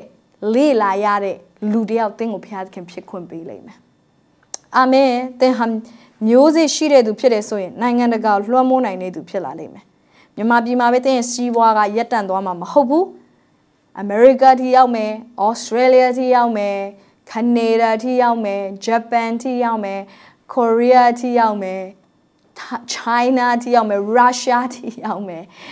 Ireland ထိရောက်မယ်နိုင်ငံတကာထိတင်းရဲ့စီးပွားရေးကလွှမ်းမိုးမှုတင်းရဲ့အမှုတော်တင်းရဲ့လုပ်ငန်းတွေတင်းရဲ့နာမည်တင်းရဲ့ brand တင်းရဲ့ personal အားလုံးကလွှမ်းမိုးမှုရှိလာလိမ့်မယ် အာမင်ဘာကြောင့်မလို့လဲမျိုးစေ့ရဲ့အထဲမှာသင်ဤအမျိုးအနွယ်အားဤပြည်ရှိသမျှကိုငါပေးမည်သင်မျိုးစေ့ကိုဤပြည်ရှိသမျှကိုငါပေးမည်လို့ဘုရားသခင်ကပြောထားတာဖြစ်တယ်သင်အမျိုးအနွယ်အားဖြင့်သင်ရဲ့မျိုးစေ့အားဖြင့်လူမျိုးတကာတို့ဟာကောင်းကြီးမင်္ဂလာကိုခံစားကြရလိမ့်မယ်မျိုးစေ့ကျဲပါမိတ်ဆွေသင်အားဖြင့်လူမျိုးတကာကောင်းကြီးခံစားလာရမှာဖြစ်တယ်ကပောက်ကျန်ခန်းကြီး24အငယ်60မှာကြတော့ရေဘက်ခါကိုသူ့ရဲ့အိမ်သူအိမ်သားတွေက prophet ပြုတယ်ရေဘက်ခါကိုလည်းတင်သည်အကျွန်ုပ်တို့၏နှမဖြစ်အတောင်းအသိန်းတို့၏အမိဖြစ်ပါစေသောသင်အမျိုးနွယ်သည်ရန်သူတို့၏တကားများကိုအစိုးရပါစေသောဟုကောင်းကြီးပေးကြ၏ဟာလေလုယာသင်၏မျိုးစေ့ဟာရန်သူတွေရဲ့တကားတွေကိုအစိုးရလိမ့်မယ်မိတ်ဆွေသင်ရဲ့မျိုးစေ့ကရန်သူတွေကိုနိုင်စေလိမ့်မယ်သင်ကိုသင်တို့ဝိညာဉ်တိုက်ပွဲဝင်ပေးလိမ့်မယ် သင်မျိုးစေ့ကြောင့်မလို့သင်ရန်သူတွေသင်ရှေ့မှာလာပြီးတော့အုပ်ဆိုးခြင်းခံရတဲ့အခွင့်ဘုရားသခင်ပေးလိမ့်မယ်သင်ကသူတို့ကိုအုပ်ဆိုးရလိမ့်မယ်သင်ကိုမနာလိုတဲ့သူတွေကသင်ကိုလာပြောကျွန်တော်တို့ကိုအုပ်ချုပ်ပါလို့ပြောလိမ့်မယ်ရန်သူတွေကိုသင်ဟာအုပ်ဆိုးရလိမ့်မယ်ရန်သူတွေကိုနိုင်ရလိမ့်မယ်တကယ်ပဲဒီကောင်းကြီးမင်္ဂလာကနော်ရေဘက်ခါရဲ့မျိုးစေ့တွေမှာတက်ရောက်တယ်ယာကုပ်ယာကုပ်ကသူ့ကိုနော်သူ့ဦးလေးလာဘန်ကဘလောက်ထိလိမ့်လိမ့်ဘလောက်ထိ ညစ်ဖို့ရန်အတွက်စ조사စ조사ရန်သူကိုပြန်ပြီးတော့နိုင်နေသူဖြစ်လာတကယ်တော့လာဘန်လက်ကလွတ်ဖို့ဆိုတာမဖြစ်နိုင်ဘူးအချို့လူတွေလည်းအကျွေးလက်ကလွတ်ဖို့ဆိုတာမဖြစ်နိုင်အချို့တွေလည်းဒီဒီစီးပွားရေးကပ်ဘေးကလွတ်ဖို့ဆိုတာမဖြစ်နိုင်ဘူးအချို့လူတွေလည်းဒုက္ခတွေနဲ့ဝေနေတာနှစ်တွေကြာနေပြီလွတ်ဖို့ဆိုတာမဖြစ်နိုင်ဘူးဒါပေမဲ့သင်ရဲ့မျိုးစေ့ကအလုပ်လုပ်လိမ့်မယ်သင်ကိုရန်သူတွေရဲ့ချီနှောင်ခြင်းကနေပြီးတော့သင်ကိုလွတ်မြောက်စေလိမ့်မယ် လာဘန်ရဲ့ချုံနှောင်ခြင်းကနေယာကောကလွတ်မြောက်ခဲ့တယ်ယောသက်လေးဒီလိုပဲသူ့အကိုရဲ့မနာလိုမှုတွေတိုက်ခိုက်မှုတွေသူခံရတယ်ဒါပေမဲ့မျိုးစေ့ကသူ့အတွက်တိုက်ပြီးတယ်မျိုးစေ့ကသူ့ကိုသူ့အကိုတွေအားလုံးကပြန်ပြီးတော့ဦးညွတ်ရတဲ့အခွင့်ကိုဖြစ်စေတယ်။ဖခင်သခင်ရဲ့မျိုးစေ့ကရန်သူတွေကိုသင်ဟာအုပ်ဆိုးရတဲ့အခွင့်ကိုပေးလိမ့်မယ်။ဟာလေလုယာအာမင် နောက်တစ်ခုကျွန်မသိကြတဲ့ကျမ်းစာဖြစ်တယ်ဟေရှဲခန်းကြီး48အငယ်16နဲ့19မှာတင်းဒီငါ၏ပညာတို့ကိုစောင့်ရှောက်ပါစေတော့သို့ပြုလင်တင်းချမ်းသာသည်မြစ်ကဲ့သို့၎င်းတင်းဖြောင့်မတ်ခြင်းပါရမီသည်သမုတ်တရားတဘိုးကဲ့သို့၎င်းဖြစ်ရလိမ့်မည်ဟာလေလုယာဒါမီလီယံနဲ့ကျမ်းစာဖြစ်တယ် ဘုရားတခင်ကကျမတို့မီလီယံနာဖြစ်စေခြင်းလားဘုရားတခင်ကျမတို့ကိုကြွယ်ဝစေခြင်းနဲ့ဆိုဒီကျမ်းစာမှာရေးထားတာဖြစ်တယ်။သင်အမျိုးနွယ်သည် your seed သင်ရဲ့မျိုးစေ့ဟာသဲလုံးကဲ့သို့၎င်းဒီသားမြေတို့သည်သမုတ်တရားကြောက်စရစ်ကဲ့သို့၎င်းဖြစ်ကြလိမ့်မည်။သင်နာမသည်ငါရှိမှမပြတ်မစီယာဟာလေလုယာဟာလေလုယာအဲ့ဒီဘုရားကပြောတယ်သင်ရဲ့မျိုးစေ့ဟာသမုတ်တရားကဲ့သို့မြားပြလိမ့်မယ် ဒါဟာဘုရားသခင်မီလီယံနာကောင်းကြီးမင်္ဂလာဖြစ်တယ်ဘုရားသခင်ရဲ့မီလီယံနာကောင်းကြီးမင်္ဂလာကမျိုးစေ့ထဲထဲမှာရှိတယ်။ဒါပေမဲ့ကျွန်တော်တို့ကမျိုးစေ့ကိုကျဲတယ်ဆိုရင်မျိုးစေ့ကတင့်ကိုပြန်ပြီးတော့မီလီယံနာကောင်းကြီးမင်္ဂလာကိုယူဆောင်လာပေးမှာဖြစ်တယ်။ဒီထဲမှာရှိရညီကိုမောင်မတွေတင်တို့ရဲ့အထဲမှာဘုရားသခင်ပေးထားတဲ့မျိုးစေ့ရှိတယ်။အဲ့မျိုးစေ့တင်စိုက်တတ်မယ်ဆိုရင် အဲ့ဒီမျိုးစေ့ကဘာတွေတင့်တော့ယူလာပေးမလဲဆိုကြွယ်ဝတဲ့ကောင်းကြီးမင်္ဂလာတင့်တော့ယူဆောင်လာပေးမှာဖြစ်တယ်ဟာလေလုယာအာမင်ဘုရားတခင်ကောင်းကြီးမင်္ဂလာငွေကြေးတာမကဘူးတင့်ရဲ့နာမည်တင့်ရဲ့နာမည်ကိုလည်းကြီးမြတ်စေလိမ့်မယ်တင့်ရဲ့နာမည်ကဘယ်တော့မှဘုရားရှိမှမပျက်စီးရအောင်ကျွန်တော်မျိုးစေ့ကြေးတတ်တဲ့သူဖြစ်ပါမျိုးစေ့ကြေးခြင်းကတင့်ကို အကခွေဖြစ်စေ။ music ကြေးခြင်းတင့်တော်ဝိညာဉ်တိုက်ပွဲဝင်ပေးတယ်။ music ကြေးခြင်းကတင့်ကိုကောင်းကြီးမင်္ဂလာယူဆောင်လာပေး။ music ကြေးခြင်းကတင့်ကိုမြေတွေပိုင်ဆိုင်စေ။ music တင့်ရဲ့အထက်မှာရှိကြအဲ့ music အားဖြင့်တင့်ပြန်လေကောင်းကြီးခံစားလာမယ်။နိုင်ငံတကာကိုလွှမ်းမိုးနိုင်တဲ့အခွင့်အရေးဘုရားသခင်ပေးလာ။ ကျွန်တော်ကျမတို့ကကိုယ့်ကိုကြည့်ပြီးငါဘာမှမရှိဘူးငါမှငါငါဘာအလားလာမှမရှိဘူးလို့ထင်ကောင်းထင်လိမ့်မယ်ဒါပေမဲ့ဖရားသခင်ပေးထားတဲ့မျိုးစေ့တွေကျမတို့ရဲ့အထဲထဲမှာရှိနေအဲ့မျိုးစေ့တွေကျမတို့စိုက်တတ်ဖို့ရန်အတွက်လိုတယ်ငွေကြေးမျိုးစေ့တွေစိုက်တတ်ဖို့ရန်အတွက်လိုတယ်ဉာဏ်ပညာမျိုးစေ့ကျမတို့စိုက်တတ်ဖို့လိုတယ်ခွန်အားတွေကျမတို့ရဲ့အချိန်တွေကျမတို့ရဲ့အရည်ချင်းတွေကျမတို့ရဲ့အစွမ်းစတွေမျိုးစေ့တွေစိုက်တတ်ဖို့ရန်အတွက်လိုအပ်တယ်ဘုရားတို့မျိုးစေ့စိုက်တဲ့အခါမှာတာမန်မစိုက်ပါနဲ့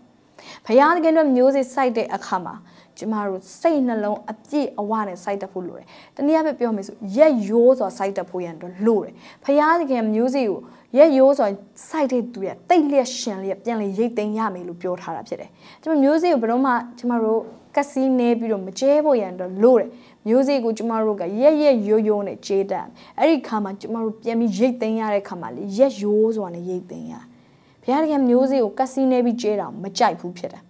နော်ကျမတို့စံစာထဲမှာမျိုးစေ့တွေကိုရက်ရက်ရော်ရော်ကျဲတဲ့လူတွေကတိတ်လက်ရှန်လဲပြန်ပြီးရိတ်သိမ်းရတယ်ဆိုတော့ကျမတို့တွေ့ရတယ်ဥပမာတွေကျမပေးမယ်ဆိုအများကြီးရှိတယ်အမေဥပမာဒါဝိတ်ဒါဝိတ်ဆိုရင်ဖယားသခင်အတွက်သူမျိုးစေ့ကျဲတဲ့အခါမှာအကောင်းဆုံးသူကျဲဖယားရဲ့အိမ်တော်စောက်မယ်လို့ပြောတဲ့အခါဒါဝိတ်ဘယ်လိုမျိုးစေ့ကျဲခဲ့လဲရာဇဝင်ကျုပ်ပထမဆုံးအခန်းကြီး29အငယ်1ကနေ4မှာတဖန်ဒါဝိတ်မင်းကြီးကဖယားသခင်ရွေးကောက်တော်မူသောငါသားရှောလမုန်သည်အသက်နုသေး၏ အမှုကကြီးသောအမှုဖြစ်၏တိဆောက်ရသောဗိမာန်တော်သည်လူအဖို့မဟုတ်သာဝရဘုရားသခင်ဖို့ဖြစ်ငါ၏ဘုရားခင်အိမ်တော်အဖို့ရွှေတစားလှုပ်เสียဖို့ရွှေကို၎င်းငွေတစားလှုပ်เสียဖို့ငွေကို၎င်းကြေးဝတစားလှုပ်เสียဖို့ကြေးဝကို၎င်းတန်တစားလှုပ်เสียဖို့တန်ကို၎င်းတစ်သားတစားလှုပ်เสียဖို့တစ်သားကို၎င်းရှာဟန်ကြောက်နှင့်အယောင်မျိုးမျိုးထွက်၍စီเสียဖို့ကောင်းသောကြောက်အဖိုးထိုက်သောကြောက်မျိုးများစွာသောကြောက်ဖြူတို့ကို၎င်းတက်နိုင်သမျှတိုင်းငါပြင်ဆင်ပြီဟာရ ဒီမှာဒါဝိတ်မျိုးစေ့ကျဲဒါဝိတ်မျိုးစေ့ကျဲတာတနေရာမှာပဲကျဲတာမဟုတ်ဘူးအမျိုးမျိုးသူမျိုးစေ့ကျဲရွှေငွေဂျေးဝါတန်တက်သားကြောက်အမျိုးမျိုးကြောက်တော့မှကြောက်တစ်မျိုးပဲမဟုတ်ကြောက်အမျိုးမျိုးအတွက်သူမျိုးစေ့ကျဲနေရတကမှာမျိုးစေ့ကျဲကျမတို့နေရအမျိုးမျိုးမှာမျိုးစေ့ကျဲတတ်ပြီလားအကျိုးလို့ရပြောကျွန်တော်ဖះเจ้าမှာ music ကျဲဟုတ်ပြီသင်ဖះเจ้าမှာ music ကျဲရဟုတ်တယ်ဒါပေမဲ့ဘလို့ကဏ္ဍတွေမှာသင်ပါဝင်လဲ အလုံငွေထက်အလုံငွေထက်ရဟုတ်တယ်ဘယ်လိုကဏ္ဍအတင်းတော်ရဲ့ပတ်စံအလုံငွေပါယုံနဲ့ကျမတို့ခြေနဲ့နေလို့မရအောင်အခြားကဏ္ဍတွေရှိတယ်ကျမတို့အေဝင်ကလေးတွေအတွက်မှာပါဝင်ဖို့ရန်အတွက်လိုတယ်မိဘမဲ့ကလေးတွေပေးကမ်းခြင်းမှာပါဝင်တတ်ဖို့ရန်အတွက်လိုတယ်ဘာဖြစ်လို့လဲအငယ်ဆုံးသောသူတွေကိုသင်မျိုးစေ့ကျဲတဲ့ကောင်းကြီးမင်္ဂလာနဲ့နော်တဲ့နော်ကျမတို့အိမ်ဖျားတကယ်အိမ်တော့တီဆောက်တဲ့အခါမှာလိုအပ်တဲ့နေရာမှာမျိုးစေ့ကျဲတာနဲ့ရိတ်တန်းရမှချင်းမတူဘူးဖြစ်တယ်အားလုံးရောမချပါနဲ့ နော်ကျမတို့လိမ္မော်သီးစိုက်တယ်ဆိုလိမ္မော်သီးပဲပြန်ပြီးရိတ်သိမ်းရနော်လိမ္မော်သီးစိုက်တယ်ဆိုလိမ္မော်သီးပဲပြန်ရိတ်ရပန်းသီးဘယ်သူမှပြန်ပြီးမရိတ်သိမ်းရအောင်ဒီလိုပဲကျမတို့စိုက်တဲ့နေရာနဲ့ဆိုင်နဲ့ကောင်းကြီးမင်္ဂလာတွေတင်းသက်တာတွေမှာခံစားရတာဖြစ်တယ်အာမင်ဒါကြောင့်မလို့နေရာအသီးသီးမှာကျမတို့မျိုးစေ့ကျဲတတ်ဖို့ရန်အတွက် သင်ပေးခြင်းနဲ့ဒီမှာရှင်းညီကူမောင်မတွေကိုအဲတင်တော်ရဲ့အပတ်စဉ်လူငွေမှာမျိုးစေ့ကျဲတတ်ဖို့လိုအပ်တယ်လို့ကျမတို့ငွေဆုံးသောသူတွေကိုကြည့်ရှုခြင်းတွေမှာလည်းကျမတို့မျိုးစေ့ကျဲတတ်ဖို့ရန်အတွက်လိုတယ်။အဲကျမတို့အေဝင်ဂေလိတွေနဲ့ပတ်သက်ပြီးတပည့်တော်လုံးမွေးထုတ်ခြင်းတွေနဲ့ပတ်သက်ပြီးမျိုးစေ့ကျဲတတ်ဖို့ရန်အတွက်လိုအပ်တယ်။ဟာလေလုယာ။အဲ့ဒီခါမှာသင်ပြန်ပြီးရိတ်သိမ်းရတဲ့ဂဏ္ဍတွေလည်းသင်ရဲ့အသက်တာမှာတူမှာမဟုတ်ဘူးဖြစ်တယ်။ဒါဝိတ်ကအဲ့လိုမျိုးရက်ရိုးစွာနဲ့သူမျိုးစေ့ကျဲတဲ့ခါမှာသူ့အနာကလူတွေကလည်း သူ့လိုပဲရက်ရက်ရိုးရိုးနဲ့ပါဝင်တဲ့သူတွေဖြစ်လာတယ်ဒါဝိနဲ့အတူကြံတဲ့သူတွေကလည်းအငယ်9နဲ့10မှာရွှေသည်ရွှေတစားဖို့ငွေသည်ငွေတစားဖို့ဇရာသမားလုတ် ဖို့ဖြစ်၏တို့ဖြစ်၍ယနေ့သာရဖျားအောင်ကိုဥစ္စာကိုအဘဲသူပူဇော်ခြင်းသည်ဟုပရိသတ်အပေါင်းတို့ကမေးတော်မူလျင်အဆွေအမျိုးတို့၏အကြီးအကဲများဣသရေလအမျိုးသားအသီးသီးတို့ကိုအုပ်ဆိုးသောမင်းများလူတစ်ထောင်အုပ်တရားအုပ်များရှင်မေးအမှုတော်ကိုစီရင်သောသူများတို့သည်ကြည်ညိုသောစိတ်ရှိ၍ဘုရားခင်အမှုတော်ကိုဆောင်ရွက်เสียဖို့ရွှေအခွက်9000နဲ့ ရွှေဒင်္ဂါတတောင်ငွေအခွက်တသိန်းကျွေးဝကြေးဝအခွက်တသိန်းရှစ်တောင်တန်အခွက်တသန်းကိုလှူကြ၏ဟာ financial revival ငွေကြေးဆိုင်ရာနိုးထားမှုဖြစ်လာတယ်ငွေသူကိုယ်တိုင်မျိုးစေ့ကိုရက်ရက်ရောရောကျဲတဲ့အခါနေရအမျိုးမျိုးမှာကျဲတဲ့အခါသူ့လိုပဲမျိုးစေ့ကျဲတဲ့သူတွေပေါ်လာတယ် ဒီနေ့တမျိုးစီကြေးခြင်းကတင့်ပတ်ဝန်းကျင်ကလူတွေကိုလေဖျားခင်နိုင်ငံတော်တော့ပို့ပြီးမျိုးစီကြေးမယ်အရာတွေဖြစ်ပေါ်လာစေလိမ့်မယ်။ဘာဖြစ်လာမလဲသိလား။တင်မဲကောင်းကြီးရတာမဟုတ်ဘူး။မျိုးတစ်ခုလုံးကောင်းကြီးရဖို့ဖြစ်လာမယ်။လူမျိုးတစ်ခုလုံးကောင်းကြီးရဖို့ဖြစ်လာမယ်။မြမပြည်ကြီးစင်ရဲခြင်းတွေကနေလွတ်မြောက်ဖို့ရန်အတွက်ယုံကြည်သူတွေစပြီးမျိုးစေ့ကျဲရမယ်။ယုံကြည်သူတွေစပြီးမျိုးစေ့ကျဲတာမှန်မှန်ကန်ကန်ကျဲတတ်လာမယ်ဆိုရင်ကျမတို့ရဲ့ society ဟာလည်း ကျွေဝတဲ့ society ဖြစ်လာမယ်ကျမတို့ရဲ့ပတ်ဝန်းကျင်ကျမတို့ရဲ့နိုင်ငံလူမျိုးတွေဟာစင်ရင်ချင်းတွေကနေလွတ်မြောက်လာလိမ့်မယ်ဘာလို့လဲကျမတို့ဟာမျိုးစေ့ကျေးတတ်တဲ့အတွက်ကြောင့်မို့လို့ hallelujah amen အဲ့ဒီကောင်းကြီးမင်္ဂလာတင့်ရဲ့သက်တာမှာရှိပါစေတင့်အပြင်လူမျိုးလူတွေဟာလည်းတင့်ကိုကြည်ခြင်းအပြင်မျိုးစေ့ကျေးတဲ့အခြေအနေဖြစ်လာပါစေလူတွေကိုလှုပ်ဖို့ပဲပြောလို့မရအောင်ကိုယ်တိုင်ကလှုပ်ဖို့လိုတယ်ကျမတို့ခါကြထဲ့တော့ထဲ့တော့ပြောတာတော့လွယ်တယ်အမေကိုယ်တိုင်ပါအရင်ဆုံးပါဝင်ဖို့ရန်အတွက်အရင်မဲ့အရေးကြီးတာဖြစ်တယ် အာမင်ဟာလေလုယာအဲ့တော့เนาะကျမတို့နောက်ထပ်တစ်ယောက်ဒါဝိဒ်အဲ့လိုမျိုးပေးတဲ့အခါသူ့သားရှောလမုန်သူ့အဖေရဲ့ spirit ကိုသူလည်းရရှိ spirit of generosity နော်တကယ်ကိုရက်ရက်ရိုးရိုးပါဝင်တဲ့စိတ်ဝိညာဉ်သဘောရှောလမုန်ရဲ့အထဲမှာရှိရဲ့ဖခင်ကဗိမာန်တော်သူအကောင်းဆုံးစောက်တယ် အခမ်းအနားဆုံး စောက်တဲ့အခါမှာအကောင်းဆုံးနဲ့ရွှေနဲ့ပဲအတိအထဲထဲမှာပြီးတဲ့ပစ္စည်းတွေနဲ့ပဲသူအသုံးပြုတယ်အကောင်းဆုံးရွှေရိုးရိုးရွှေတာမဟုတ်အဲ့ဒီခေတ်မှာအကောင်းဆုံး offer ရွှေအသုံးပြုပြီးတော့သူစောက်တယ်ပြီးသွားတဲ့အခါမှာလေဖယားသခင်ကိုရစ်ပူဇော်တယ်။အော်အိမ်တော်တော့ငါတို့ဆောက်လုပ်ရေးတွေအရင်ပစံကုန်သွားပြီရစ်ပူဇော်တဲ့အခါရှော့ရအောင်ရှော့ရဘာချက်ရှော့မယ်။နော်ရစ်ပူဇော်တဲ့အခါမှာငါတို့နည်းနည်းနော်တရိတ်ဆန်50ကောင်တက်ရင်တော်ပြီပေါ့နော်ဘသူတွေကလည်းအလောက်ကြီးနော်အာနားလေပါတယ်လူတွေလည်း ဖယားကိုရစ်ပူဇော်တဲ့အခါဒီလောက်ဆိုရပြီဖယားသခင်ကလည်းမတောင်းဘူးအဲ့လောက်ထိဒါမဲ့ရှောလမုန်ဘလောက်ထိရစ်ပူဇော်လဲဆိုလို့ရှင်မီးရှို့ရာရစ်တထောင်ကိုပူဇော်တယ်ရစ်ကောင်တထောင်ရစ်ကောင်တထောင်ကနဲတာမဟုတ်ဘူးနေရာတစ်ခုလုံးမြင်အောင်ကြည့်ပါအဲ့ဒီခြံဝင်းတစ်ခုလုံးရစ်ကောင်နေနဲ့ပဲအကုန်ပြေးသွားအဲ့ထက်ပိုပြီးထည့်လို့ရရင်တော့သူထည့်အောင်မဲ့သဘောမှရှိတယ် အကောင်လုံးအိမ်ထဲမှာရစ်ပရောဟိတ်ရောလေဝိတွေရောအကုန်ပင်ပန်းသွားတယ်ရစ်ကောင်တွေရစ်ပူဇော်ရလွန်းတော့လုံးဝဖယားသခင်ရဲ့ရှေ့တော်မောက်မှာကိုးကွယ်ခြင်းရစ်ကိုတင်တဲ့အခါမှာရက်ရောစွာနဲ့သူတင်လှူပူဇော်တယ်ဒီနေ့တဲ့ပေးကမ်းခြင်းအသက်တာဘယ်လိုရှိလဲကျမတို့ပေးတဲ့အရာတွေကကျမတို့အများရှိတဲ့ကအနှင်းငယ်ကိုပေးတာလားရှိတဲ့ထက်ကနေရက်ရက်ရိုးရိုးအများဆုံးကိုဖះကိုပေးတာလား ဒီနေ့ကျမတို့ရဲ့မျိုးစေ့စိုက်ခြင်းကိုပြန်လည်ပြီးတော့ကျမတို့စစ်ဆေးဖို့ရန်အတွက်လိုအပ်တာဖြစ်တယ်မိတ်ဆွေကျမဒီအရာကိုပြောတဲ့အခါမှာအမြင်မမားစေခြင်းမို့ကျမတင်စီရပတ်စံလိုခြင်းလို့ပြောတာမဟုတ်ဘူးဒါမဲ့မိတ်ဆွေကိုကောင်းကြီးခံစားစေခြင်းလို့ပြောတာဖြစ်တယ်လူချိုးတွေကဖះဖះတခင်နိုင်ငံတော်ထဲမှာအသင်းတော်ထဲမှာငွေကြေးပေးကမ်းခြင်းနဲ့ပတ်သက်ပြီးပြောလာလို့ရှင် မျိုးစိကျဲခြင်းနဲ့ပတ်သက်ပြီးပြောလာလို့ရှင်အထင်မှားတကြတယ်ဒါပေမဲ့တကယ်တမ်းတော့အဲ့ဒါဟာစာရမဏတ်ကလူတွေကိုအဲ့ဒီအတွေးမျိုးဖြစ်အောင်ကျမတို့ brain wash လုပ်ထားတာဖြစ်တယ်တကယ်တော့တမျိုးစီကျင်းကောင်းကြီးရမှာသင်မဲဖြစ်တယ်တင်းတော့များဆိုတော့တကားတွေပွင့်လာဖို့ရန်အတွက်ရှိတယ် မျိုးစေ့ရဲ့နောက်ကွယ်မှာအတိုးပွားခြင်းအလားအလာတွေအများကြီးရှိတယ်အဲ့ဒီဒီလိုမျိုးကျမတို့မျိုးစေ့ကျဲတဲ့အခါရက်ရိုးစွာနဲ့အများဆုံးအကောင်းဆုံးရှိသမျှအကောင်းဆုံးဟာလေလုယာပေးကမ်းတတ်ဖို့ရန်တော့အရင်မဲ့အရေးကြီးကျမဘွားမှာကျမရှိသမျှအားလုံးပေးတယ်ဒါခါလေကျမကိုကျမဟဲ့ငါယူများယူသွားပြီလားပေးတာလေရဲရဲဆက်ဆက်ကျမပေး ချိုးလူတွေကျမကိုယူတယ်လို့ထင်လဲထင်လိုက်မယ်ကျမကမနှက်ဖြန်စားဖို့မရှိတော့တဲ့အထိကျမပေးတယ်ကျမမရှိရတဲ့ကိုကျမအမြဲပို့ပေးတယ်ကျမသုံးဖို့ထက်ကျမပို့ပေးတယ်ကျမပြောရဲတယ်ဘာဖြစ်လို့ကျမပြောလဲဆိုတော့ကျမရဲ့တသက်ခံချက်ဖြစ်တယ်တကယ်ဖြစ်လို့တကယ်ပြောလို့ရတာဖြစ်တယ်ကြွားတာမဟုတ်ဘူးတကယ်ဖြစ်တဲ့အရာကိုပြောပြတာအဲ့လိုပေးတဲ့ခါမှလည်းဖခင်ကကျမကို မကုံသွားစေဘူးအမြဲတမ်းမှာအိုးဘွေရနမိတ်လက္ခဏာတိုးပွားခြင်းတွေပြန်ပြီးဘဝတတ်တာတွေမှာခံစားရတယ်ကျမရဲ့လစဉ်ဝင်ငွေကျမပြန်ပြီးကြည့်ရခါကျမအသက်အရွယ်နဲ့ကျမပညာအရည်ချင်းနဲ့ဒီလုံးဝင်ငွေရဖို့ဆိုဘလို့မှမဖြစ်နိုင်ဘလို့မှမဖြစ်နိုင်ကျမတို့ပညာအရည်ချင်းနဲ့အများကြီးရှိတဲ့သူတွေအဲတွေ့ကြုံနေအများရှိကျမတို့အသက်အများကြီးကြီးတဲ့လူတွေတောင်မှအဲ့လိုဝင်ငွေမျိုးမရှိဖခင်တခင်ကျမ အရန်ကောင်းကြီးပေးဘာကြောင့်မို့လို့လဲမျိုးစေ့ဆိုင်လို့ဖြစ်တယ်မျိုးစေ့ဆိုင်တယ်တစ္ဆာရှိရှိနဲ့ဆိုင်တယ်ချက်ချင်းမရိတ်သိမ်းရသေးရင်လည်းစိုက်တယ်။အဲဘုရားခင်ကအချိန်တစ်ခုရောက်လာတယ်။မင်းစိုက်တဲ့အရာတွေကိုအချက်ချင်းအပင်ပေါက်စီမဲ့အချိန်ရောက်လာပြီ။ဘုရားခင်ပြန်ပြီးရိတ်သိမ်းခွင့်ပေးလာတယ်။အဲကြောင့်ဇွဲမလျှော့ဘဲနဲ့စိုက်ပြိုးတတ်ဖို့တော့ကျမတို့အရင်မဲ့အရေးကြီးရယ်။ဒီနေ့စိုက်ပြီးဒီနေ့တော့အပင်ပေါက်မှာမဟုတ်ဘူး။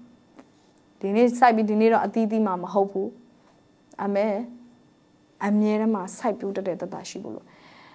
ရှောလမုန်အဲ့လိုမျိုးရစ်ပူဇော်ပြီးတဲ့အခါမှာဘာဖြစ်လာလဲဆိုညရောက်တော့ဘုရားသခင်သူ့စီကိုအိမ်မက်ထဲမှာကြွလာရှောလမုန်မင်းကငါဘာပေးရမလဲဘုရားသခင်ကသူ့ရဲ့ရက်ရောတဲ့နှလုံးသားကိုမြင်တဲ့အခါမှာဘုရားသခင်မပေးဘဲနဲ့မနေနိုင်တော့ဘုဘုရားခင်သူ့မေးငါမင်းကိုဘာပေးရမလဲ အဲ့နဲ့ရှောလမုန်ကတောင်းတယ်ကိုရောကျွန်တော်ဒီနိုင်ငံကိုအုပ်ဆိုးနိုင်တဲ့ဉာဏ်ပညာပေးပါရှောလမုန်ကသူ့ကိုဖျားသခင်စီမှာသူတောင်းတဲ့အရာမှန်ကန်တဲ့အတွက်ကြောင့်မလို့ဖျားသခင်ကသူ့ကိုဘာပြန်ပေးလဲဆိုလို့ရှင်ဖျားသခင်သူဉာဏ်ပညာပေးတယ်မြေကြီးပေါ်မှာသူနဲ့တူတဲ့သူတယောက်မှမရှိ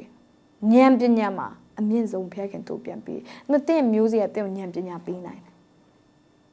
တယ်။တဲ့မျိုးစေ့အထဲမှာဉာဏ်ပညာလည်းပါတယ်။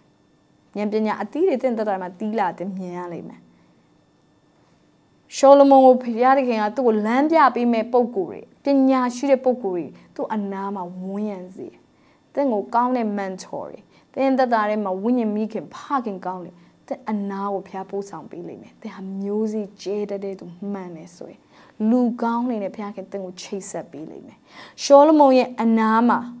ဘုရားခင်ဟာကောင်းတဲ့ လူတွေကိုပို့ဆောင်ပေးတယ်ရှောလမုန်ကိုခေါင်းဆောင်မှုဘိတ်သိက်ဘုရားခင်ပေးတယ်တင့်မျိုးစေ့ကတင့်ကိုခေါင်းဆောင်မှုဘိတ်သိက်ကိုပေးလိမ့်မယ်ရှောလမုန်ကလွှမ်းမိုးနိုင်တဲ့သူဖြစ်လာတယ်သူ့ရဲ့နာမည်ကဘယ်လောက်ထိကြိုစောလဲဆိုအခြားအတိုင်းတိုင်းအပြပြကလူတွေကသူ့ကိုလာပြီးတော့ကြည့်ရတယ်လာပြီးတော့တွေ့ပညာကိုနားထောင်ရတယ်သင်ယူရတယ်လေ့လာရတယ်အဲ့ခင်မှာ Facebook မရှိဘူး Twitter မရှိဘူးဘလို့လို့သူ့အကြောင်းကိုကြားလဲ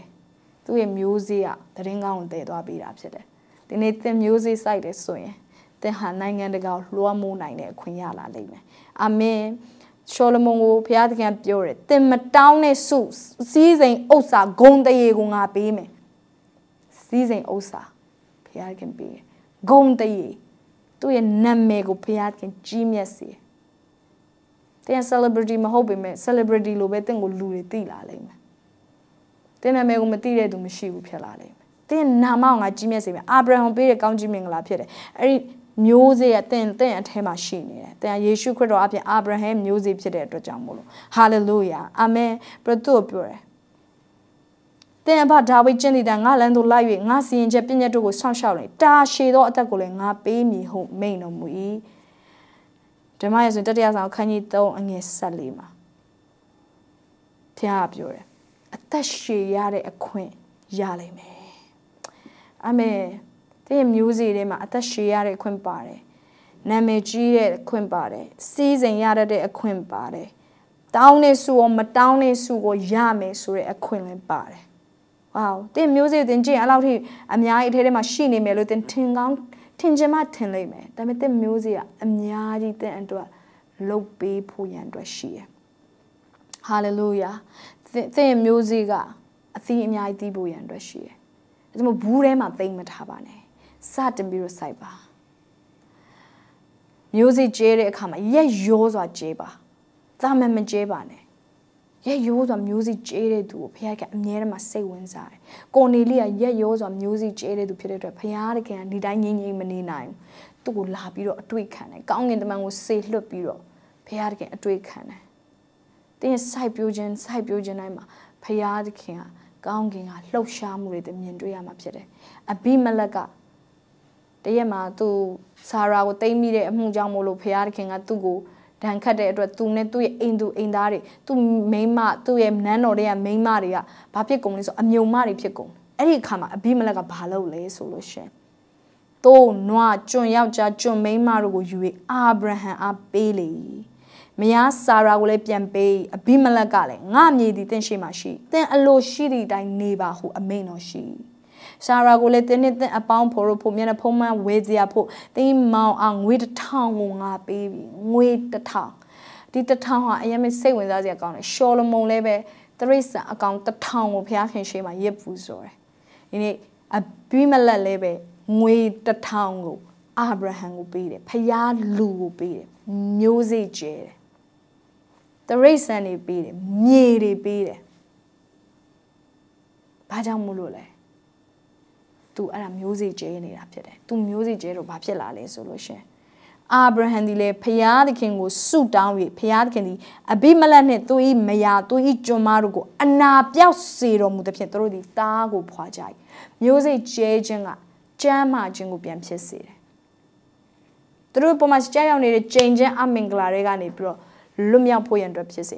မျိုးစေ့အထဲမှာရှိနေတဲ့တကူကိုတန်မထီမဲ့မြင်မပြုတ်ပါနဲ့မျိုးစေ့ကိုတိမ်မထားပဲနဲ့မျိုးစေ့ကိုကျဲပါအဲ့မျိုးစေ့ကတင့်ကိုမြောက်များစွာသောအရာတွေတိတ်လက်ရှံလက်ပြန်လဲပြီးတော့ယူဆောင်လာမှာဖြစ်တယ်တင်မထင်ထားလောက်တဲ့အထီတင့်မျိုးစေ့ကတင့်အတွက်အလုံးလုံးပေးလိမ့်မယ်အားလုံးတို့ကဆူတောင်းရအောင်